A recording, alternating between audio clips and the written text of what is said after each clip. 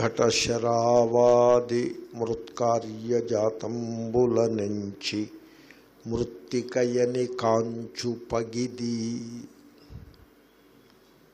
ఘటము శరావము మొదలైన కార్యములను పరిశీలించి అవన్నీ మృత్తికయే అని తెలుసుకునే విధముగా శేషపద్యం. అమల కుండల కిరీటాది భూషణముల స్వర్ణంబని ఎరుంగు చందమునను. అది తెలిసింది కదండి? అసి కుంత శూల చక్రాదికంబుల నెల్ల నినుమని ఎరసి కన్గొనిన భంగి. ఇది అర్థమైందండి? బొలుపారు ఫేన బుద్బుద తరంగంబుల మంచి నీరని విలోకించు రీతి. శేషపద్యం. తనరు బహువిధ పటముల దంతు వనుచు తెలియు కైవడి మొదలు సంధియము విడిచి భ్రాంతిని దొరంగి సర్వంబు బ్రహ్మమనుచు సుఖముగా సంతతంబును చూడుమనఘా ఇది సీతారామాంజనేయ సంవాదము అనే ఒక పుస్తకం ఉన్నది. దాంట్లో పద్యం. చాలా మంచి పద్యం. అలాగే ఇంకొక పద్యం. ఘటకటకోర్మికా పటనికాయములన్ సువివేక దృష్టిచే దటుకున మృత్సువర్ణ జలతంతువులంచు నెరింగినంత. అంటే ఘటము మృత్తే కటకము సువర్ణమే ఊర్మిక జలమే పటము తంతువే అని తెలిసిన వెంటనే అదేవిధంగా తత్స్ఫుటతర నామరూపములు పోవమినన్నియుగార్యకోటికెప్పటి వలె వచ్చు వచ్చినను బాధకమున్నదే హేతు దృష్టికి సరిగ్గా నిన్న అనుకున్న పద్యమే అది. ప్రతీతి కను కొనసాగుతుంది. ప్రతీతి ఉన్నా కూడా దాని వలన నష్టం ఏమీ లేదు అది సత్యత్వ బుద్ధి ఉంటేనే నష్టం తప్ప ప్రతీతి వలన నష్టపోయేదేమీ లేదు అని అభిప్రాయంతో చెప్తున్నాడు.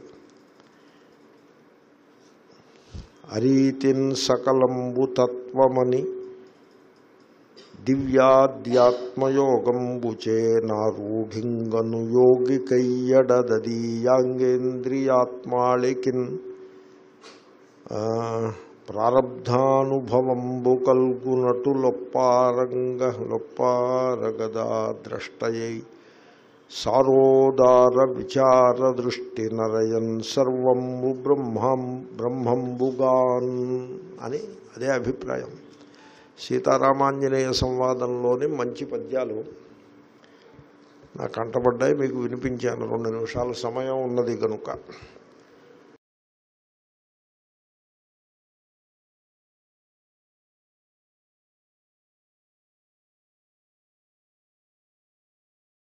ఓం శ్రీ గురుభ్యో నమ.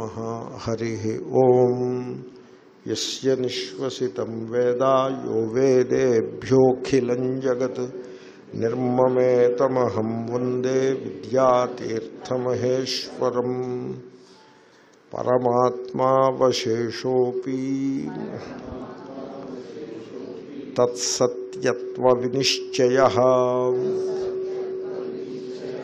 న జగద్విస్మృతిర్నోచేత్ జీవన్ముక్తిర్న సంభవేత్ కలిపి చెప్దాం పరమాత్మావశేషోపి తత్సత్యత్వ వినిశ్చయ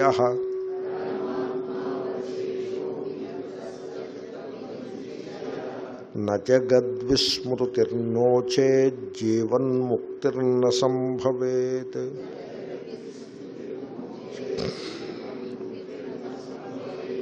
పరమాత్మావశేష. అపి తత్సత్యత్వ వినిశ్చయ నా జగద్విస్మృతి. నో చేత్ జీవన్ముక్తి. నా సంభవేత్. ఇంతకుముందు పన్నెండవ శ్లోకంలో అదే పన్నెండు అంటే ఒరిజినల్ టెక్స్ట్లో పన్నెండు గడిచిన శ్లోకం కంటే ముందు శ్లోకంలో ఏమనుకున్నామంటే విచారం చేయాలని. ఆ విచారం ద్వారా జగత్తు యొక్క అభావము అంటే జగత్తు యొక్క భావము అంటే సత్యత్వము బాధింపబడుతుందని అనుకున్నాము. అలాగే విచారం చేసుకుంటూ పోతే జీవభావము కూడా బాధింపబడుతుంది. జగద్భావము బాధింపబడుతుంది. జీవభావము బా బాధింపబడుతుంది.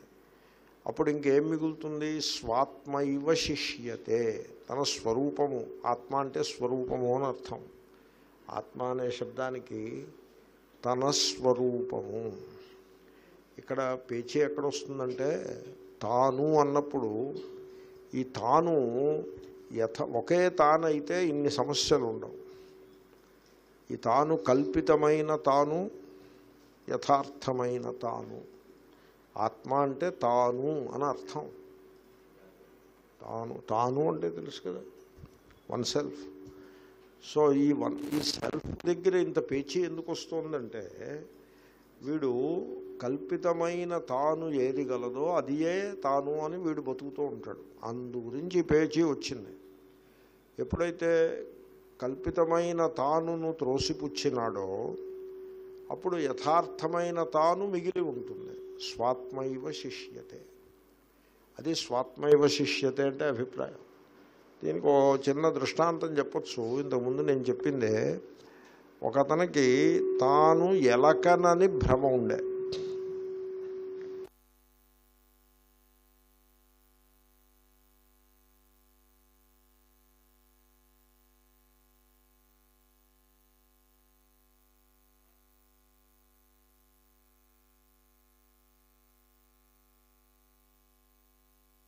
గాదే గాదే అంటే ధాన్యం దాచుకునే గాదే ఒకటి ఉంటుంది. దాని వెనకాల సందులో దీ దూరి కూర్చునేవాడు వీడు. ఏమిట్రా అక్కడ కూర్చున్నావు ఏమిటంటే నేను ఎలకని అనేవాడు. మరి ఎలక ఎక్కడ ఉంటుంది? ధాన్యం గాది వెనక దాగి ఉంటుంది కదా నేను ఎలకను కాబట్టి నేను అక్కడే కూర్చుంటాను అంటూ ఉండేవాడు. అటువంటి వాడిని ఎక్కడికి తీసుకెళ్తారు? పూర్వం వాళ్ళు అయితే పిచ్చాసుపత్రికి తీసుకువెళ్ళేవారు. ఇప్పుడైతే సైకియాట్రిస్ట్ దగ్గరికి తీసుకెళ్తారు. పిచ్చాసుపత్రి అంటే ఏమీ అక్కడేమీ ఒక వ్యవస్థితంగా ఏం ఉండదు.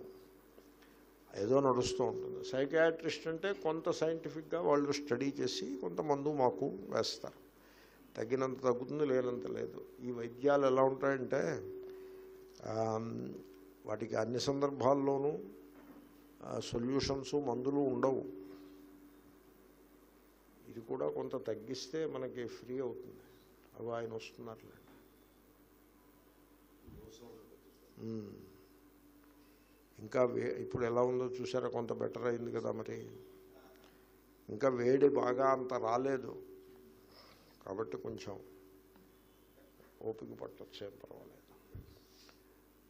సో సైకాట్రిస్ట్ దగ్గరికి తీసుకెళ్తే మందిస్తాడు. కొంత సైంటిఫిక్గా ఉంటుంది ట్రీట్మెంట్ ఇప్పుడు ట్రీట్మెంట్ యొక్క ఫలం అది ప్రారంభాధీనంగా ఉంటుంది. ట్రీట్మెంట్ సరిగ్గా ఉందా లేదో చూసుకోవాలి.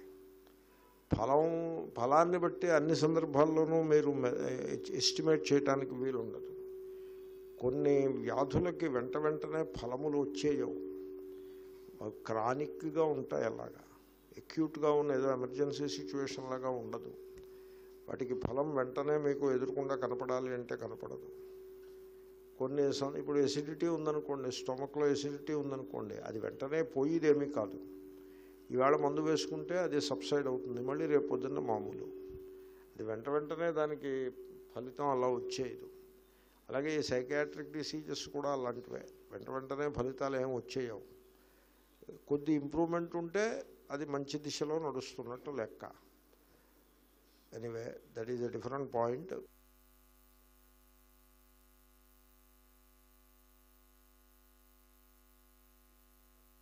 cognitive behavioural therapist అనే అతని దగ్గరికి తీసుకెళ్ళాడు. మామూలుగా వేదాంత పాఠం క్లాసులో కూర్చోబెట్టి భక్తి భక్తి లక్షణములు మొదలైన లక్షణాలు చెప్పామనుకోండి అదేదో వేదాంత క్లాస్ అని అనిపిస్తుంది. లేకపోతే రిలీజియస్ డిస్కోర్స్ అన్నట్టుగా అనిపిస్తుంది. అవే మాటలు కాగ్నిటివ్ బిహేవియరల్ థెరపిస్ట్ చెప్పాడు అనుకోండి అదేదో థెరపీ అనిపిస్తుంది. వాళ్ళు ఇవి ఇవి చెప్పి వాళ్ళు ప్రేమతోటి చెప్తారు. వాళ్ళు డబ్బులు డబ్బులు తీసుకు చెప్తారు. Cognitive behavioural therapist. ఆ పేరుని బట్టి మీకు తెలిసిపోలేదు. అది అది కేవలం మనం అనుకునే మాటలు లాంటివే వాళ్ళు చెప్తారు. ఇంకా మనకం మనం చెప్పుకునే అంత లోతు కూడా ఉండదు వాళ్ళు చెప్పి దాంట్లో. ఆ విషయం మీకు దాని సంగతి చూస్తే తెలుస్తుంది. నేను చాలామందితో అలాంటి వాళ్ళతో మాట్లాడి ఉన్నాను. దీని వాళ్ళు ఇక్కడికి వచ్చి నేర్చుకుని అక్కడ ప్రాక్టీస్ చేస్తూ ఉంటారు. సో అటువంటి వాడి దగ్గరికి ఒకటి దగ్గరికి తీసుకెళ్ళారు తీసుకెళ్తే అతను మందే ఉండదు కౌన్సిలింగే ఉంటుంది. ఆ కౌన్సిలింగ్ ఏమిటంటే చూడయా నీ కేసు నువ్వు చూసుకో అద్దంలో చూసుకో. ఒకసారి ఆ ఎలక బొమ్మను చూడు లేకపోతే లివింగ్ ఎలకనే ఒకసారి చూడు. నువ్వు అద్దంలో చూసుకో. అది నువ్వెలా అవుతావు నువ్వు ఎలక వెళ్ళ అవుతావు? తర్వాత మిగతా మనుషుల్ని చూడు మళ్ళీ అద్దంలో చూసుకో. నువ్వు మనిషి అవుతావు కానీ ఎలకవు కాదుగా అని అలాగే కౌన్సిలింగ్ అలాగే ఉంటుంది. అలా కౌన్సిలింగ్ చేశారు. చేస్తే అతనికి ఒక సమస్య ఉంది. మీరు చెప్పింది నాకు అర్థమవుతోందండి.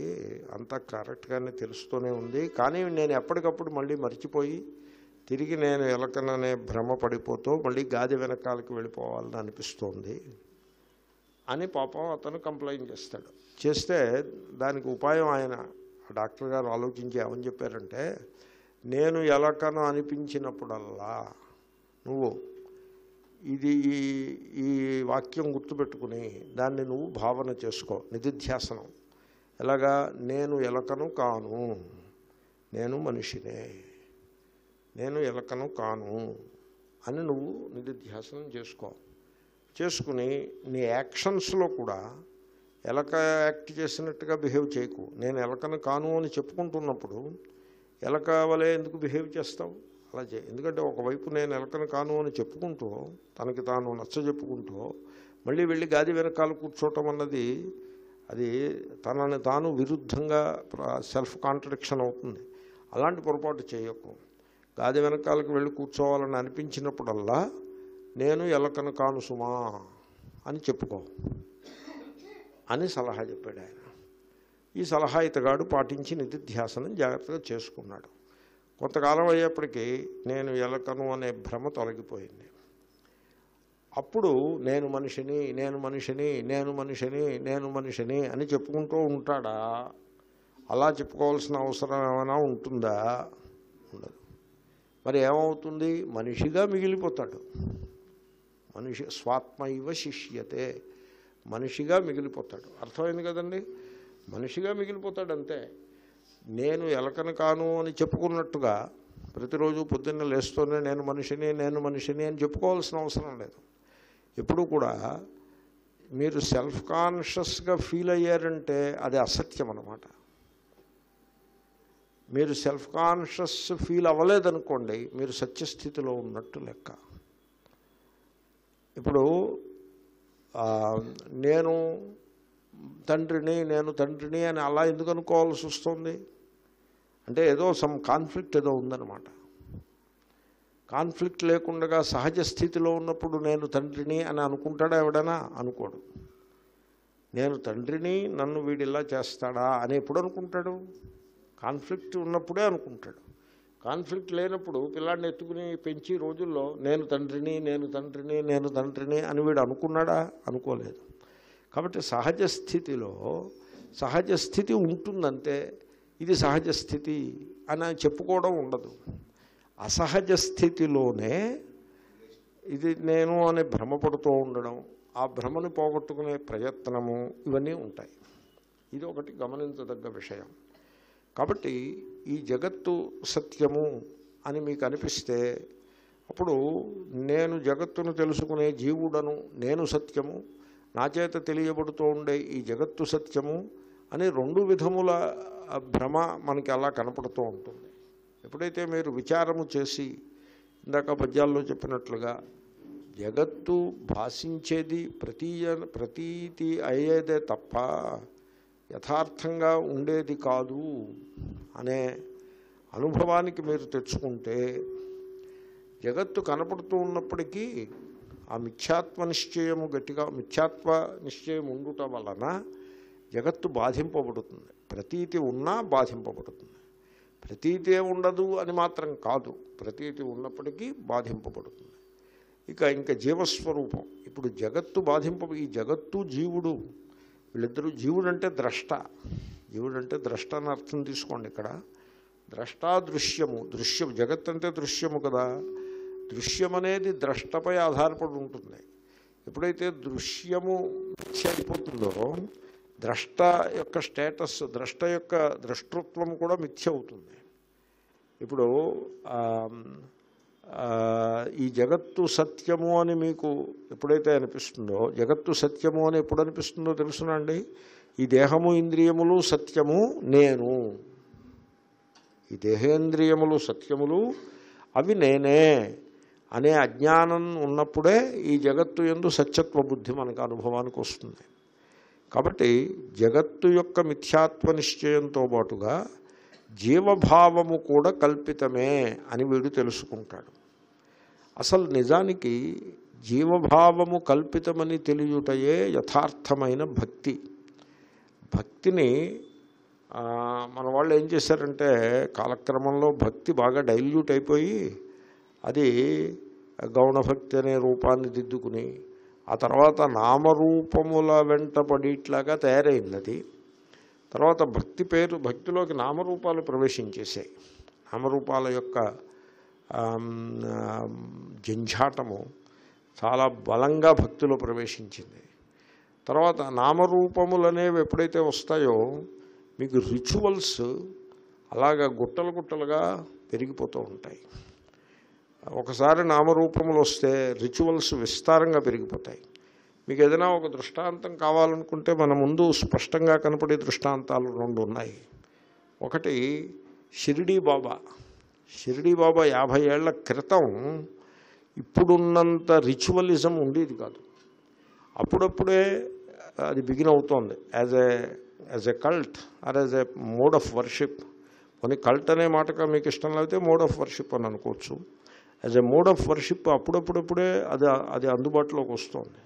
అది మహారాష్ట్రలో ప్రారంభమయ్యి అటు ఆదిలాబాద్ డిస్టిక్టు తెలంగాణ డిస్టిక్స్లోకి వచ్చి ఇక్కడి నుంచి క్రమంగా అటువైపు ప్రవేశించి అప్పుడప్పుడే వ్రేళ్ళు ఊనుకుంటున్న సమయం అది ఆ మోడ్ ఆఫ్ వర్షిప్ అప్పుడు ఏదో పిసరంత రిచువల్ ఉండేది. చిన్న రిచువల్ ఏదో ఉండేది. ఏదో బాబా గారి ఫోటోని దానికి ఓ మా- ఓ హారత ఏదో ఉంది ఇప్పుడు అది ఎలా బాగా విస్తరించింది? ఇప్పుడు ఎంత విస్తరించిందంటే మీరు ఒక జీవితకాలం దాంట్లో గడపడానికి తగ్గంత రిచువలిజం విస్తరించింది. దాన్ని బట్టి మీకు ఏమర్థం అవుతుంది ఒకసారి నామరూపములలో ప్రవేశిస్తే క్రమంగా ఒక గతానుగతికముగా వీళ్ళని చూసి వాళ్ళు వాళ్ళని చూసి వీళ్ళు పది మంది చేస్తున్నారు కనుక అది ఒక కష్టం కింద డెవలప్ అవటము కష్టం బికమ్స్ ఏ రిలీజియస్ ఫార్మ్ ఆ విధంగా మీకు రిచువలిజం డెవలప్ అయిపోతుంది.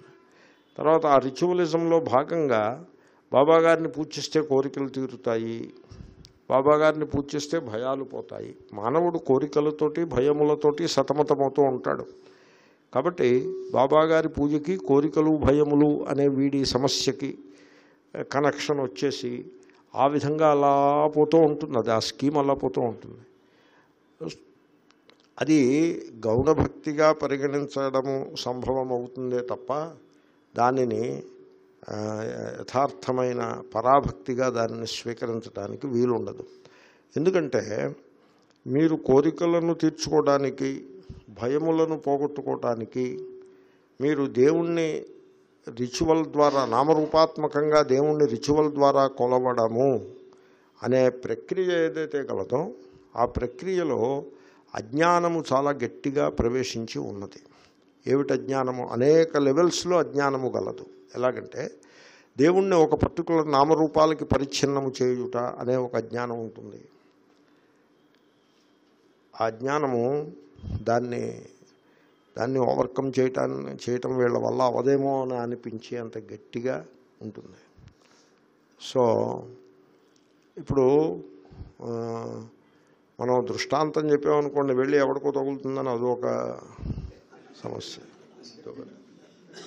ఎందుకంటే ఈ సిస్టమ్స్ ఎంత లోతుగా పాతుకుపోయాయంటే అవి అవి అవి అసత్యములు అవి కల్పితములు అని మనకి డేలైట్ లాగా కనపడుతూ ఉన్నా అవి కల్పితము అంటే ఎవరికో కోపం వచ్చేట్లాగా. ఓ పది మంది వచ్చి మన ముందు ధర్నా చేసినా కూడా ఆశ్చర్యపడక్కర్లేదు. అలా తయారైపోతుంది. ఇప్పుడు దేవుడికి మీరు నామరూపాలు పెట్టేశారనుకోండి పెట్టేశారంటే దేవుడు మగవాడు అని ఫిక్స్ అయిపోతుంది. దేవుడు ఈజ్ ఎ మేల్ ఏమంటే మేల్ అని మీరు ఎప్పుడైతే దేవుణ్ణి మేల్ అన్నారో ఆ సొసైటీని బట్టి ఉంటుంది. దేవుడు మన మేల్ మన సొసైటీ పేట్రియార్కల్ సొసైటీ అనుకోండి అప్పుడు దేవుడు చుట్టూ ఉండే వ్యవస్థ అంతా కూడా పేట్రియార్కల్ వ్యవస్థ కింద డెవలప్ అవుతుంది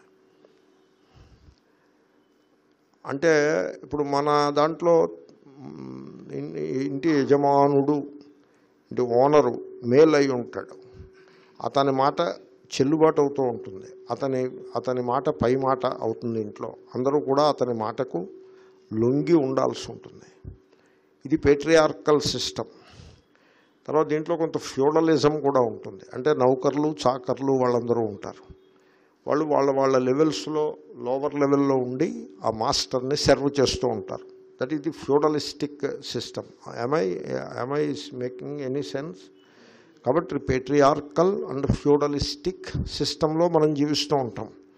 మనం అటువంటి సిస్టంలో పుట్టి పెరిగాము. ఇప్పుడు కొంచెం డైల్యూట్ అవుతున్నాయి. ఇప్పుడు ఫ్యూడలిజం కొంత వెనక్కిపోతుంది. పేట్రియార్కల్ లక్షణాలు కూడా వెనక్కిపోతున్నాయి.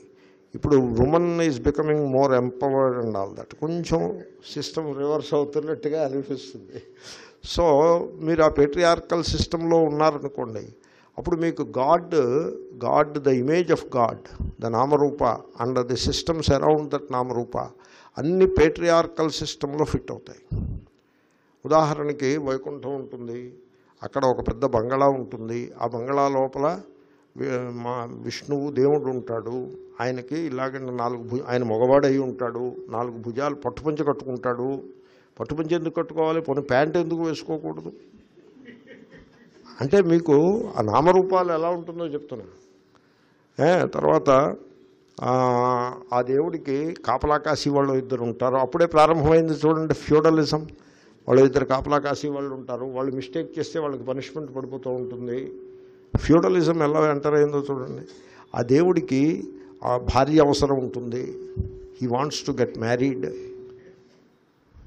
and then భా ఆయన నడుము వాలిస్తే భార్య వచ్చి కాళ్ళు పడుతుంది. అంటే చూడండి మీకు పేట్రియార్కి ఎలా ప్రవేశించిందో. కాబట్టి అంచేతనే లోకానువాద పురాణం అని ఒక మహాత్ములు చెప్పారు. పురాణంలో దేవుడు లోకానువాదంగా ఉంటాడు. లోకము యొక్క ప్రాజెక్షన్ కింద ఉంటాడు. సో అదొక సమస్య. మీరు దేవుణ్ణి ఆ లెవెల్కి పట్టుకొచ్చేస్తే ఆ దేవుడు ఎటువంటి దేవుడైపోయాడో తెలుసిన ఇప్పుడు వాడు? ఆ దేవుడు he is a projection of your mind అని సెటిల్ అయిపోయింది అక్కడికి. మీరు దేవుణ్ణి యస్యామతం తస్యమతం మతం మతం యస్య నవేద వేద సహా అని ఉపనిషత్తులు ఇటువంటి ప్రాజెక్షన్స్ని దృష్టిలో పెట్టుకునే చెప్పి ఉన్నాయి. కాబట్టి మీరు దేవుణ్ణి అజ్ఞానం అనే దాంట్లో పెట్టేశారు కదా. తర్వాత మీరు దేవుణ్ణే అజ్ఞానం చేసి అజ్ఞానం చేత కల్పిత దేవుణ్ణి చేసేస్తే మీరు జీవుణ్ణి లెక్క చేస్తారా? జీవుణ్ణి కర్త భోక్త పుణ్యము గలవాడు పాపము గలవాడు పూర్వజన్మ గలవాడు ఉత్తర జన్మ గలవాడు అని ఈ విధంగా వాడి ఆ జీవభావం చుట్టూ తర్వాత కోరికలు గలవాడు భయములు గలవాడు కోరికలను తీర్చుకున్నట కొరకై కర్తయ్యై దేవుణ్ణి ఆరాధించి తద్వారా వచ్చేటువంటి సుఖములకు భోక్త అవుతూ ఉంటాడు. తర్వాత కర్తగా భయపడుతూ దుఃఖాన్ని అనుభవిస్తూ ఆ దేవుణ్ణి ఆరాధించి ఆ దేవుని యొక్క ఆశీర్వచనము చేత భయములను దూరము చేసుకొని ఆ సుఖాన్ని భోగిస్తూ ఉంటాడు. ఆ దేవుణ్ణి ఆరాధిస్తున్నంతసేపు వీడికి సుఖము ఆరాధించకపోతే వీడికి శాపము వీడికి పనిష్మెంటు అని ఆ విధంగా ఆ జీవుణ్ణి చాలా అల్పుడుగా మనం తయారు చేసి పెట్టుకుంటాము ఇది రెండవది. అజ్ఞానంలో రెండవ అంశం మూడవ అంశం ఏమిటంటే మీ కోరికల యొక్క వాటి యొక్క వాస్తవికత ఎంత అని అసలు కోరిక దేనికి? కోరిక దేనికి? మనకి ఇప్పుడున్న స్థితిలో ఆనందము లేదు సుఖము లేదు. మనం ఏదైనా పొందినట్లయితే మనకి ఆనందం లభిస్తుంది అనే దానివలన కోరిక. దానివల్ల ఏమైంది? మీ యథార్థ స్వరూపము ఆనందము అని తెలుసుకునే అవకాశం మీకు లేకుండా అయిపోయింది. అది అజ్ఞానము. అలాగే వీడు భయపడుతూ దేవుని యొక్క ఉపకారం చేత భయాన్ని పోగొట్టుకుని ఏదో సుఖంగా ఉండాలని వీడు ఆకాంక్షిస్తూ ఉంటాడు. దాని వలన వీడు భయపడుటకు హేతువు గలదు అని నిశ్చితమైనది. అంటే చుట్టుముట్టు దేవత దెయ్యాలు ఉంటాయి ఆ దెయ్యాలు మనకి మనని హింస పెడతాయి. దేవతలు ఉంటారు ఆ దేవతలు లోకల్ కరప్ట్ పోలీస్ ఆఫీసర్ లాగా అంటే ఆ పోలీస్ ఆఫీసర్కి మీరు మామూలు దందా చందా ఇచ్చేస్తుంటే మీ జోలికి రాడు లేకపోతే మిమ్మల్ని హింస పెడతాడు. అలాగే ఈ దేవతలు బిహేవ్ చేస్తారు. ఆ దేవతలకి ఒక ప్రార్థన ఒక పుష్పం ఒక ఫలం ఓ పూజ చేసేస్తే వాళ్ళు మిమ్మల్ని ఆశీర్వదిస్తారు. ఇవేమీ చేయకుండా మీ పని మీరు చేసుకుంటూ జీవిస్తుంటే మిమ్మల్ని నెత్తి మీద ముట్టికాయలు వేస్తారు వాళ్ళు అని ఆ రకంగా దేవతలని కరప్ట్ పోలీస్ ఆఫీసర్స్ లాగా చిత్రించేటువంటి పరిస్థితి నిర్మాణం అవుతుంది సో నాలుగు లెవెల్స్లో అజ్ఞానం వచ్చింది మీరు గమనించారా? ఈ అజ్ఞానమునంతను మీరు పరిశీలించాలి. దేవుడు అనేది మన నామరూపముల యొక్క ప్రాజెక్షన్ అవ్వదు. దేవుడు అనేది రియాలిటీ వస్తు వాస్తవిక తత్వం అవుతుంది.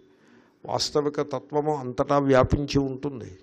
అంతటా వ్యాపించి ఉంటుందని ఎందుకు చెప్పారంటే నామరూపాల నుంచి అధిగమించడం కోసం అలా చెప్పారు. ఎందుకంటే సర్వవ్యాపకమైన దానికి రూపము ఉండదు. రూపము ఉంటే నా ఆ రూపానికి తగ్గ నామం ఉంటుంది. కాబట్టి దేవుడికి మీరు పేరే పెట్టాల్సి వస్తే ఎటువంటి పేరు అవ్వాలది ఒకనొక రూపమును నిర్దేశించే పేరు కాకూడదు. అటువంటి పేరు పెట్టాలి. వాళ్ళు అలాంటి పేరు పేరు కాని పేరు పెట్టేవారు. ఇప్పుడు సుబ్బారావు అనగానే ఓ రూపం మీ ముందు ప్రత్యక్షమవుతుంది. అలాగ అవ్వకూడదు ఓ పేరు పెట్టగానే ఓ రూపం ఎదురకుండా వచ్చిట్లా ఉండకూడదు. పేరులాగా ఉండాలి కానీ ఒక రూపాన్ని పట్టుకొచ్చేదిగా ఉండరాదు. విష్ణు అన్నారు. ఏమిటండి ఈ పేరు? ఏమిటి దీని అర్థం ఏమిటంటే వేవేష్టి ఇది విష్ణు అంతా వ్యాపించి ఉండువాడు. మీకు ఏ రూపం వచ్చింది మీ మనస్సుకి? శివ అన్నారు. అంటే మంగళస్వరూపుడు. ఏ రూపం వచ్చింది మీ మనస్సుకి? అచ్యుతుడు. తన స్వరూపము నుండి జారిపోనివాడు. ఏ రూపం వచ్చింది మీకు? అంటే మీరు కండిషన్ అయిపోయి రూపం తెచ్చేసుకుంటే నేనేం చెప్పలేను కానీ ఆ పదము యొక్క అర్థమును మీరు భావన చేసినప్పుడు మీకు ఏ రూపం వచ్చింది మనస్సుకి? అనంతుడు. అంటే కాలమునందు అంతము లేనివాడు. మీకు ఏ రూపం వచ్చింది? ఏ రూపం రా? శంఖచక్ర గదాధారి అంటే టక్కుమని రూపం వచ్చింది. ఆయన సుఖస్వరూపుడు ఆనందస్వరూపుడు సద్రూపుడు చిద్రూపుడు ఏ రూపం వస్తుంది మీకు? ఏ రూపము రావటం లేదు. కాబట్టి ఆ విధంగా దేవుణ్ణి వాళ్ళు భావన చేశారు తప్ప దేవుడికి రూపం పెట్టలేదు. విష్ణు సహస్రనామానికి మిగతా సహస్రనామాలకి ఉండే మౌలికమైన భేదమే ఇది. విష్ణు సహస్రనామంలో ఒక రూపం ఉండదు. రూపాన్ని బాగా శంఖీ చక్రీ గది ఈశారంగి అలా ఉందేమో కొద్ది చోట్ల ఉంటే ఉండవచ్చు కాక. ఉపాసన కోసం ఏదైనా రూపాన్ని కల్పించిన రూపాన్ని ఒకదాన్ని పెట్టినట్టుగా కొన్ని మన కొన్ని నామాలు ఉంటే ఉండవచ్చుగాక విష్ణు సహస్రనామం యొక్క ప్రాముఖ్యం ఏమిటంటే దాంట్లో మీకు రూపం కనపడదు. విశ్వం విష్ణుర్వ షట్కారో భూతభవ్య భవత్ ప్రభు. భూతాత్మ సర్వభూతాత్మ ఏదో ఉందిగా. అలా చదువుతుంటే రూపం ఎక్కడైనా కహ్ కిం కహ కిం అవ నామాలు. ఇంకా అలాంటి నామాలు ఇంకా చూసుకుంటూ పోతే ఎక్కడైనా రూపం తగులుతుందేమో నాకు తెలీదు గుర్తులేదు. ఇంకా రూపం దగ్గరకు రావాలంటే ఆఖరికి ఆఖరిని పెట్టారనుకుంటా. శంఖి శంఖి అన్నది కూడా రూపం కానక్కర్లా. శంఖము ఓంకారము యొక్క ప్రతీక. కాబట్టి ఓంకార స్వరూపుడు చక్రి అంటే కాలచక్ర స్వరూపుడు అని అలా ప్రతీకగా తీసుకుందుకు అవకాశం గదా గది అంటే ఏదో తీసుకోవాల్సి ఉంటుంది. సో శంకి చక్రి గది ఈశాన్య అది ఆఖరణ వస్తుంది అనుకుంటా. ఆ తర్వాత విష్ణు సహస్రనామానికి ప్యారుడీగా వచ్చిన సహస్రనామాలన్నిటి నిండా రూపం యొక్క బలం చాలా ఎక్కువగా ఉన్నట్లు అనిపిస్తుంది. కాబట్టి ఈ విధంగా ఈశ్వరుని యొక్క స్వరూప ఈశ్వరుని యొక్క స్వరూపము జగత్ స్వరూపము తాను అన్నీ కలిసి ఉంటాయి. యథార్థమైన భక్తి ఏమిటంటే ఇప్పుడు నేను చెప్పిన నాలుగు లెవెల్స్ అజ్ఞానంలో ఉండిపోవడము అది యథార్థమైన భక్తి కాదు. దాన్ని గౌణభక్తి అన్నారు. దానికి కూడా ఏదో స్టేటస్ ఇచ్చారు. ఎందుకు స్టేటస్ ఇచ్చారంటే అది ఆ- ఆ పరాభక్తికి తీసుకొస్తుంది అనే బేసిస్ మీద స్టేటస్ ఇచ్చారు. ప్రాసాదము మెట్లు అన్నట్లుగా మెట్లకి కూడా ఒక విలువ ఉంటుంది. ఎందుకంటే ఆ మెట్లు ఏం చేస్తాయంటే మిమ్మల్ని ప్రాసాదంలోకి తీసుకువెళ్ళటానికి ఉపకరిస్తాయి అనే అభిప్రాయంతో ఈ గౌణభక్తి ఆ పరాభక్తికి మార్గము ఉపాయము సోపానము అని అలా చెప్పినారు. అది యథార్థమైన భక్తి కాదు గౌణభక్తి. దాన్ని డిస్మిస్ చేయకుండా దీంట్లో రెండు పద్ధతులు ఉంటాయి. డిస్మిస్ చేసేవాడు డిస్మిస్ చేస్తాడు. ఇప్పుడు యోగ వాసిష్టము తర్వాత అవధూత గీత లేకపోతే అష్టావక్ర గీత అష్టావక్ర సంహిత ఇత్యాది గ్రంథములను వివేకానంద స్వామి రామతీర్థ నిసర్గదత్త మహారాజ్ రమణ మహర్షి మొదలైన మహాత్ములను మీరు ఆశ్రయిస్తే వాళ్ళు ఈ నామరూపాలని డిస్మిస్ చేసేస్తారు అట్టే పెట్టరు వాళ్ళు అసలు వాటి జోలికి వెళ్ళరు they don't pursue that. Sri Ramakrishna Paramahamsa మొదలైన మహాత్ములను ఆశ్రయించినట్లయితే వాళ్ళు ఓ సందర్భంలో ఆ జనాన్ని బట్టి నామరూపాలని సపోర్ట్ చేసినట్టుగాను ఉంటారు ఇంకో సందర్భంలో డిస్మిస్ చేస్తారు. రెండు కనపడతాయి మనకి. అంతటితో ఆఖరు మహాత్ముల యొక్క స్థాయి. తత్వాన్ని మాట్లాడకుండా కేవలం నామరూపాల్లో ఉన్నవాడు మహాత్ముడు ఫిలాసఫర్ అవ్వడు. వాడు కేవలము పౌరాణికుడు అలా అయిపోతాడు. చాలామంది అలాగే ఉన్నారు. ఈ పీఠాలు మఠాలు పెట్టుకున్న వాళ్ళందరూ కూడా ఏదో ఒక తంత్రమును పట్టుకుని దాంతో ఆ నామరూపములతోటి కుస్తీ పడుతూ ఆ రిచువల్స్లో మునిగిపోయి ఉన్నారు తప్ప వాళ్ళకి రిచువలిస్ట్కి ఏమవుతుందంటే తత్వాన్ని ఆలోచించేటువంటి ఆ ఇన్నర్ స్పేస్ ఉండదు రిచువలిస్ట్కి. ఆ ఇన్నర్ స్పేస్ మూసుకుపోతుంది. అది ఎంతలా మూసుకుపోతుందంటే అసలు అలాంటిది ఒకటి ఉందని గుర్తించలేనంతగా మూసుకుపోతుంది. కాబట్టి వాళ్ళు గౌణభక్తిలోనే ఉండిపోతారు. పరాభక్తిలోకి రాలు రారు. గౌణభక్తికి పరాభక్తికి తేడా ఏమిటంటే గౌణభక్తిలో తాను జీవుడను అనే భావము గట్టిగా ఉంటుంది. కాబట్టి జీవభావము సత్యమవుతుంది. ఎప్పుడైతే జీవభావము సత్యమో జగత్తు లేని జీవుడు ఉండడు. జీవుణ్ణి తనలో కలిగి ఉండే జగత్తు ఒకటి ఉండాలి. ఇప్పుడు నీళ్ళు ఉన్నాయి అంటే ఓ పాత్ర కూడా ఉందన్నమాట. పాత్ర లేకుండా నీళ్ళు ఉంటాయా? అలాగే వీడు జీవుడు అనే నిశ్చయ బుద్ధి ఉన్నప్పుడు ఆ జీవుణ్ణి కలిగి ఉండే జగత్తు ఒకటి ఉంటుంది. ఈ ఇతర జీవులు ఉంటారు. జగత్ అంటే ఇతర జీవులు. దీన్నంతనే శాసించే దేవుడు ఒకడు ఉంటాడు. అలా పోతూ ఉంటుంది. దాన్ని ద్వైతము అంటారు. ఆ జీవభావములో ఉండి వీడు ఆరాధిస్తున్నంత కాలము దేవుడు భిన్నంగానే ఉంటాడు. వాడికి అద్వైతము అసలు అసలు తోచను తోచదు. ఎవరైనా సజెస్ట్ చేసినా ఆ జీవభావానికి అది గొడ్డలి పెట్టులా ఉండుట చేత దాన్ని వాడు రిపెల్ చేస్తాడు. ఈ దోమలకి ఒంటికి అదేదో రాసుకుంటే ఓడో మాస్ రాసుకుంటే దోమలు రావు చూడండి దగ్గరికి. ఆ రకంగా వాడు ఆ జీవభావంలో ఫిక్స్ అయి ఉంటాడు. వాడి దగ్గర అద్వైతం వస్తే అలా వచ్చి అలా వెళ్ళిపోతుంది దూరంగా. ఇంకా మళ్ళీ అసలు దరిదాపులకి రాలేదు. దృష్టాంతం సరైంది కాకపోవచ్చు. మొత్తానికి ఆ జీవభావము అద్వైతాన్ని దగ్గరికి రానివ్వదు. అంచేతనే ద్వైత ద్వైతులు మేము ఆచార్యులం అనుకునే ద్వైతులు విద్యావంతులం అనుకునే ద్వైతులు అద్వైతాన్ని నిరసిస్తూ మాట్లాడతారు. వాళ్ళ నిరసించడంలో వాళ్ళకున్న ఆ సైకాలజీ మనకి స్ఫుటమవుతూ ఉంటుంది. జీవభావము ఫిక్స్లో ఫిక్స్డ్ జీవభావంలో ఉన్నవాడికి జీవుడు దేవుడు ఒక్కటే అనే మాట అది తూర్పు పడమరా ఒక్కటే అన్నట్టుగా వినపడుతుంది. దాన్ని వాడు జీర్ణించుకోలేడు. అంచేతనే దాన్ని వాడు he will push it out ఆ జీవభావం అట్టేది జీవభావంలో ఉన్నవాడికి జగత్తు సత్యమని భాషిస్తుంది. ఎందుకంటే జగత్ సత్యత్వం లేనిదే జీవభావము పొసగదు కనుక. అటువంటి జీవభావంతో అంటే తన స్టేటస్ను తాను మెయింటైన్ చేసుకుంటూ ఈశ్వరుణ్ణి ఆరాధిస్తూ ఉంటాడు వీడు. వీడు అది గౌణభక్తియే అవుతుంది. ఎప్పటికైనా వీడు ఆ తత్వంలోకి వస్తాడేమో అనే భావనతోటి దానికి గౌణభక్తి అని పేరు పెట్టి దాన్ని అంగీకరించారు. ఇప్పుడు వినోబా భావే గారి దగ్గరికి ఎవరో వెళ్ళి ఏమండి శ్రీకృష్ణ భగవానుడు కోరికలు లేకుండా ఈశ్వరుణ్ణి పూజించమని చెప్తున్నాడు కదా మరి ఈ కోరికలు పెట్టుకుని పూజ చేస్తున్నారు దీని మీద మీ అభిప్రాయం ఏమిటి అని అడిగారు. అడిగితే ఆయన అన్నాడు పోలేవయా ఏదో పూజ అంటూ మొదలుపెట్టాడు కదా ఎప్పటికైనా ఆ కోరికలు విధులుపెట్టి దీంట్లో వస్తాడని మేము ఆశిస్తున్నాము అని చెప్పారు ఆయన. ఆ విధంగా వాడిని అకామిడేట్ చేశారు. ఈ మాట తీసుకెళ్ళి మీరు నిసర్గదత్త మహారాజునో రమణ మహర్షినో అడిగారు అనుకోండి డిస్మిస్ చేస్తారు. అది ఆ ఉపాధిని బట్టి అలాంటి మార్పులు ఉంటాయి.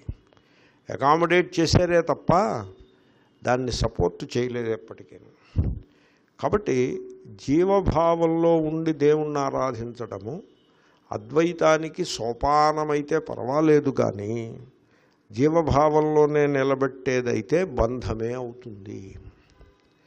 కాబట్టి అది యథార్థమైన భక్తి కాదు. నేను ఇదంతా ఎందుకు చెప్తున్నానంటే అది గౌణ భక్తియే సుమా యథార్థమైన భక్తి కాదు అని చెప్పడం కోసం చెప్తున్నా. నేను అకామిడేట్ చేసి చెప్తున్నా మీరు గమనించారో లేదో. అది భక్తి కాదు అని నేను అంటలేదు. అది గౌణ భక్తి అంటున్నా. అది యథార్థమైన భక్తి కాజాలదు. యథార్థమైన భక్తి అంటే ఏమిటో తెలుసునండి నేను ఈశ్వరునిలో విలీనమగుట. అది యథార్థమైన భక్తి. వర్షపు బిందువు సముద్రంలో పడి సముద్రంలో ఏకమవుతుంది. అది యథార్థమైన భక్తి. వర్షపు బిందువు తాను సముద్రంలో పడకుండా అలా పై పైనే ఉండిపోయి ఒకవేళ సముద్రంలో పడ్డా సముద్రంలో ఏకం కాకుండా ఉంటే అది ఎంత విరుద్ధమైన సంగతియో జీవుడు తనను తాను దేవుడి కంటే సెపరేట్గా పెట్టుకోవడం అటువంటిది. కాబట్టి అంచేతనే కోరికలను విడిచిపెట్టమన్నారు. కోరికలను ఎందుకోసం విడిచిపెట్టాల్సి వస్తుంది? కోరికలు అనేవి జీవభావాన్ని బాగా బలం చేస్తాయి. మీరు కోరికలను ఎప్పుడైతే వదిలిపెట్టారో ఆ భోక్తృత్వము దాంతోపాటుగా భోక్తృత్వము పోతుంది అవతలకి.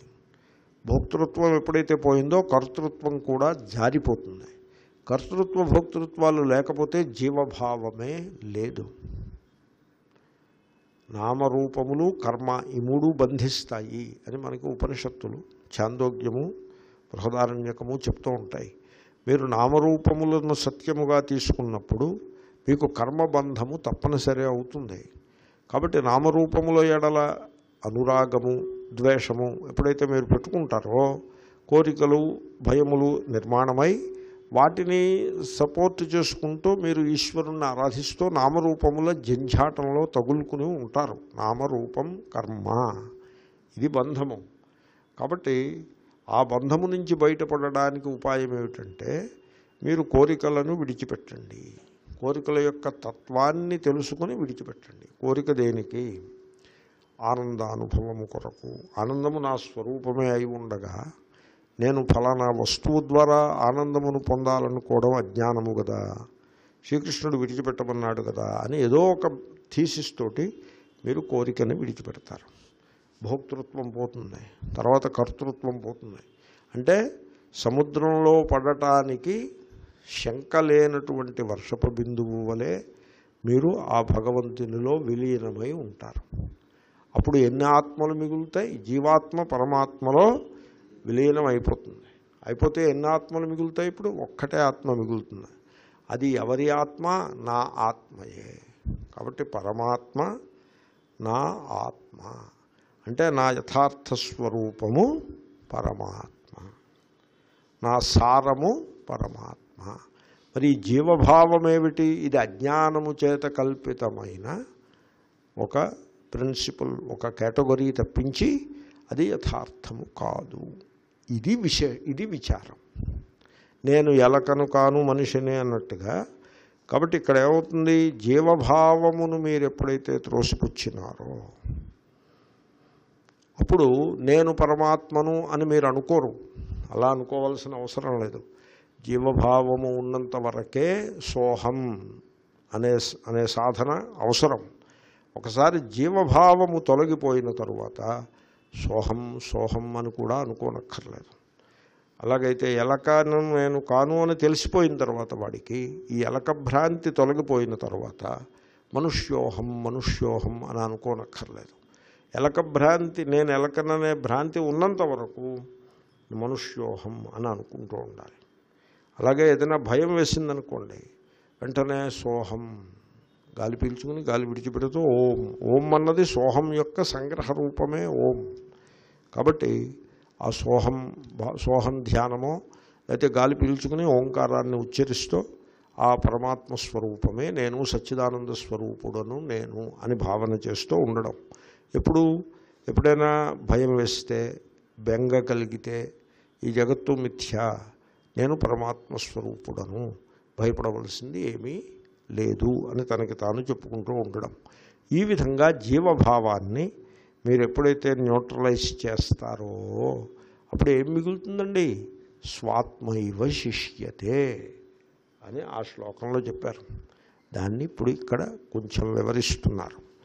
ఆ స్వాత్మైవ శిష్యతే అంటే నేను పరమాత్మను నేను పరమాత్మను నేను పరమా అలా ఉంటుందా? అలా ఉండదు. More negative than positive. ఎప్పుడు కూడా పాజిటివ్ అంటే అర్థం ఏమిటి? పాజిటివ్. పాజిటివ్ అంటే అర్థం ఏంటో తెలిసిన? ఆల్రెడీ మీరు ఒక కంక్లూషన్కి రీచ్ అయినారు. ఆల్రెడీ ఒక కండిషనింగ్లో ఉన్నారు. దానికి తగ్గట్టుగా మీరు ఆలోచిస్తే దాన్ని పాజిటివ్ థింకింగ్ అని అంటారు. ఏమండి? ఈ positive thinking is not a good thinking కదా? నేను జీవుడను పుట్టాను పెరిగాను that is the positive thinking. నేనేమో ఈ కర్మలను చేసి ఆ దేవుణ్ణి సంతోషపెడితే నాకు పుణ్యాన్ని సుఖాన్ని ఆయన ఇస్తాడు. ఇది positive thinking what what is positive thinking అజ్ఞానమే కదా ఈ positive thinking negative thinking is the జ్ఞానం. ఏమిటి నెగిటివ్ థింకింగ్ ఏమిటి? నేను భయపడవలసినది ఏమీ లేదు. జగత్తు మిథ్య. భయపడాల్సిందే ఉంది దెయ్యము వస్తుంది. దెయ్యం అనేది ఏమి ఉండదు. అది కూడా ఆత్మస్వరూపమే. నేను సచ్చిదానంద స్వరూపుడను. This is the negative thinking ఇక్కడ సచ్చిదానంద స్వరూపుడను అన్నది దాన్ని త్రోసిపుచ్చడం కోసం మీకు ఆలంబనంగా పెట్టేమే తప్ప మీకు త్రోసిపుచ్చాల్సిన దాన్ని త్రోసిపుచ్చేసిన తర్వాత ఇంకా సోహం సోహం అనే దాని ఆవశ్యకత ఉండదు. ఎందుకంటే ఎప్పుడైతే పరమాత్మ ఒక్కటే సత్యము జీవభావము సత్యము కాదు జగత్తు సత్యము కాదు అని నిశ్చయం ఎప్పుడైతే వచ్చేసినదో ఇంకా మిగిలి ఉండేది పరమాత్మయే. ఇంకా పరమాత్మని పని కట్టుకొని పాజిటివ్గా దౌరాయించాల్సిన ఆవశ్యకత లేదు. ఓకే? అది.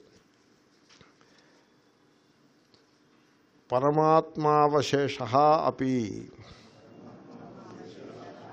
పరమాత్మ మాత్రమే మిగిలి ఉండుట కూడా. తత్సత్యత్వ వినిశ్చయ ఆ పరమాత్మయే సత్యము. అనే నిశ్చయ బుద్ధి మాత్రమే. కాబట్టి పరమాత్మ మిగిలి ఉండుట అంటే అర్థం ఏంటండి? పరమాత్మ మిగిలి ఉండుట అంటే ఇప్పుడు ఒక దాని మీద ఏవో రెండు కూర్చున్నాయి. ఆ కూర్చున్న వాటిని తోసేస్తే అదొక్కటి మిగిలి ఉంది. అలాగనా? కాదు. ఇక్కడ రెండు కూర్చోలేదు. రెండు భ్రమలే ఉన్నాయి అక్కడ. జగత్ అనే ఒక భ్రమ జీవ జీవుడనే ఇంకో భ్రమ ఈ రెండు భ్రమలే ఉన్నాయి తప్ప అక్కడ యథార్థంగా పరమాత్మ నెత్తి మీద ఏవో రెండు మ- మకిలి కూర్చుని ఉన్నది. ఆ రెండు మక్కిళ్ళని తీసి పారేస్తే పరమాత్మ మిగులుతాడని మీరు అనుకోవద్దు. పరమాత్మకి జగత్ అనేటువంటి ఒక లోపం ఒక దోషం అంటుకుని ఉంది. దాన్ని కడిగేస్తే క్లీన్ పరమాత్మ మిగులుతాడు. జీవుడి విషయంలో అలా చెప్తారు. జీవుడికి పాపము అంటుకుని ఉన్నది ఈ పాపాన్ని కడిగేస్తే శుద్ధమైన జీవుడు మిగులుతాడు. అదేమీ అలాగేమీ లేదు. వీడికి పాపము అంటుకోలేదు పుణ్యము అంటుకోలేదు. అపహత పాపమ? వీడు పుణ్యపాపములకి ఎప్పుడూ అతీతుడే. కేవలము మీ అజ్ఞానం చేత మాత్రమే పుణ్యపాపములు వీడికి అతుక్కుని ఉన్నాయా అని అనిపించింది. అజ్ఞానం చేత ఏది ఆరోపించబడుతుందో ఆ జ్ఞానము తొలగిపోతేనే అది తొలగిపోతుంది. ఏది యథార్థమో అది ఏ మిగిలి ఉంటుంది. సర్పాన్ని త్రోసిపుచ్చగానే కేవలము రజ్జువు మిగిలి ఉన్నట్లుగానే ఉంటుంది. అలాగే ఆ పరమాత్మయే సత్యము అనే నిశ్చయం మీకు కలిగిపోతుంది. దాన్ని పరమాత్మ సత్యత్వ నిశ్చయమునకే ఆ అజ్ఞాన స్థితిని పో బట్టి పోల్చి చూసి పరమాత్మ మిగిలింది అన్నారు అక్కడ. అక్కడ మిగలడం అనగా అవేవో తీసి పారేస్తే మిగిలిందని మీరు అనుకోవద్దు భ్రమ జీవభావము భ్రమ జగత్తు మిథ్య అనే నిశ్చయం ఎప్పుడైతే కలిగి ఆ రెండు ఎప్పుడైతే త్రోసిపుచ్చబడినవో అప్పుడు పరమాత్మయే సత్యమో అనే నిశ్చయం కలిగిపోతుంది. దానికే మేము పేరు పెట్టాం. ఏమని? స్వాత్మైవ శిష్యతే అని పేరు పెట్టాం. అంతే తప్ప యథార్థంగా పరమాత్మ కాని జీవుడు ఏదో మకిలి దాన్ని పోగొడితే ఇప్పుడు కొత్తగా పరమాత్మ అయ్యాడు అని చెప్పుట ఎందు మా అభిప్రాయము కాదు. తెలిసిందండి? అలా చెప్పకపోతే ఏమవుతుందో తెలుసిన? జగద్విస్మృతి నా. పరమాత్మ మిగిలి ఉండుట అనగా జగత్తును మరిచిపోవుట కాదు. అది జగత్తు కనపడకపోవుట కాదు. జగత్తును మరిచిపోవుట కాదు. ఇప్పుడు మీకు మాట చెప్తా చూడండి. మనందరి జీవితాల్లో మనం అనుభవించే దుఃఖంలో దుఃఖమనండి లేకపోతే మానసికమైన వ్యథ దానిలో చాలా భాగము గతకాలీన స్మృతుల నుండి వస్తుంది. అవునండి? ప్యాస్ట్ మన నెత్తి మీద ఒక బరువు పెద్ద బరువుగా ఈ గతము మనల్ని పీడిస్తూ ఉంటుంది. యథార్థమా కాదా అంటారా? ఇప్పుడు పద్మా పద్మావతి అని పద్మావతేనా సినిమా పేరు? పద్మావతి అని సినిమా తీశారు. అది దేని గురించి? అది పెద్ద ఇష్యూ అయింది. ఎందువల్ల? ఆ ప్యాస్ట్ ఆ ప్యాస్ట్ని మనం విడిచిపెట్టకపోవడం చేత అది సమస్య అయింది. ఆ ప్యాస్ట్ని ఆ బరువు తగ్గించడం కోసం పద్మావతిలో ఐ తీసేసి పద్మావత్ అని పెట్టారు. ఇప్పుడు పోవాలి ఇప్పుడు ఇంకా ప్యాస్ట్తో సంబంధం లేదు దీనికే అని వాళ్ళు అనుకున్నారు.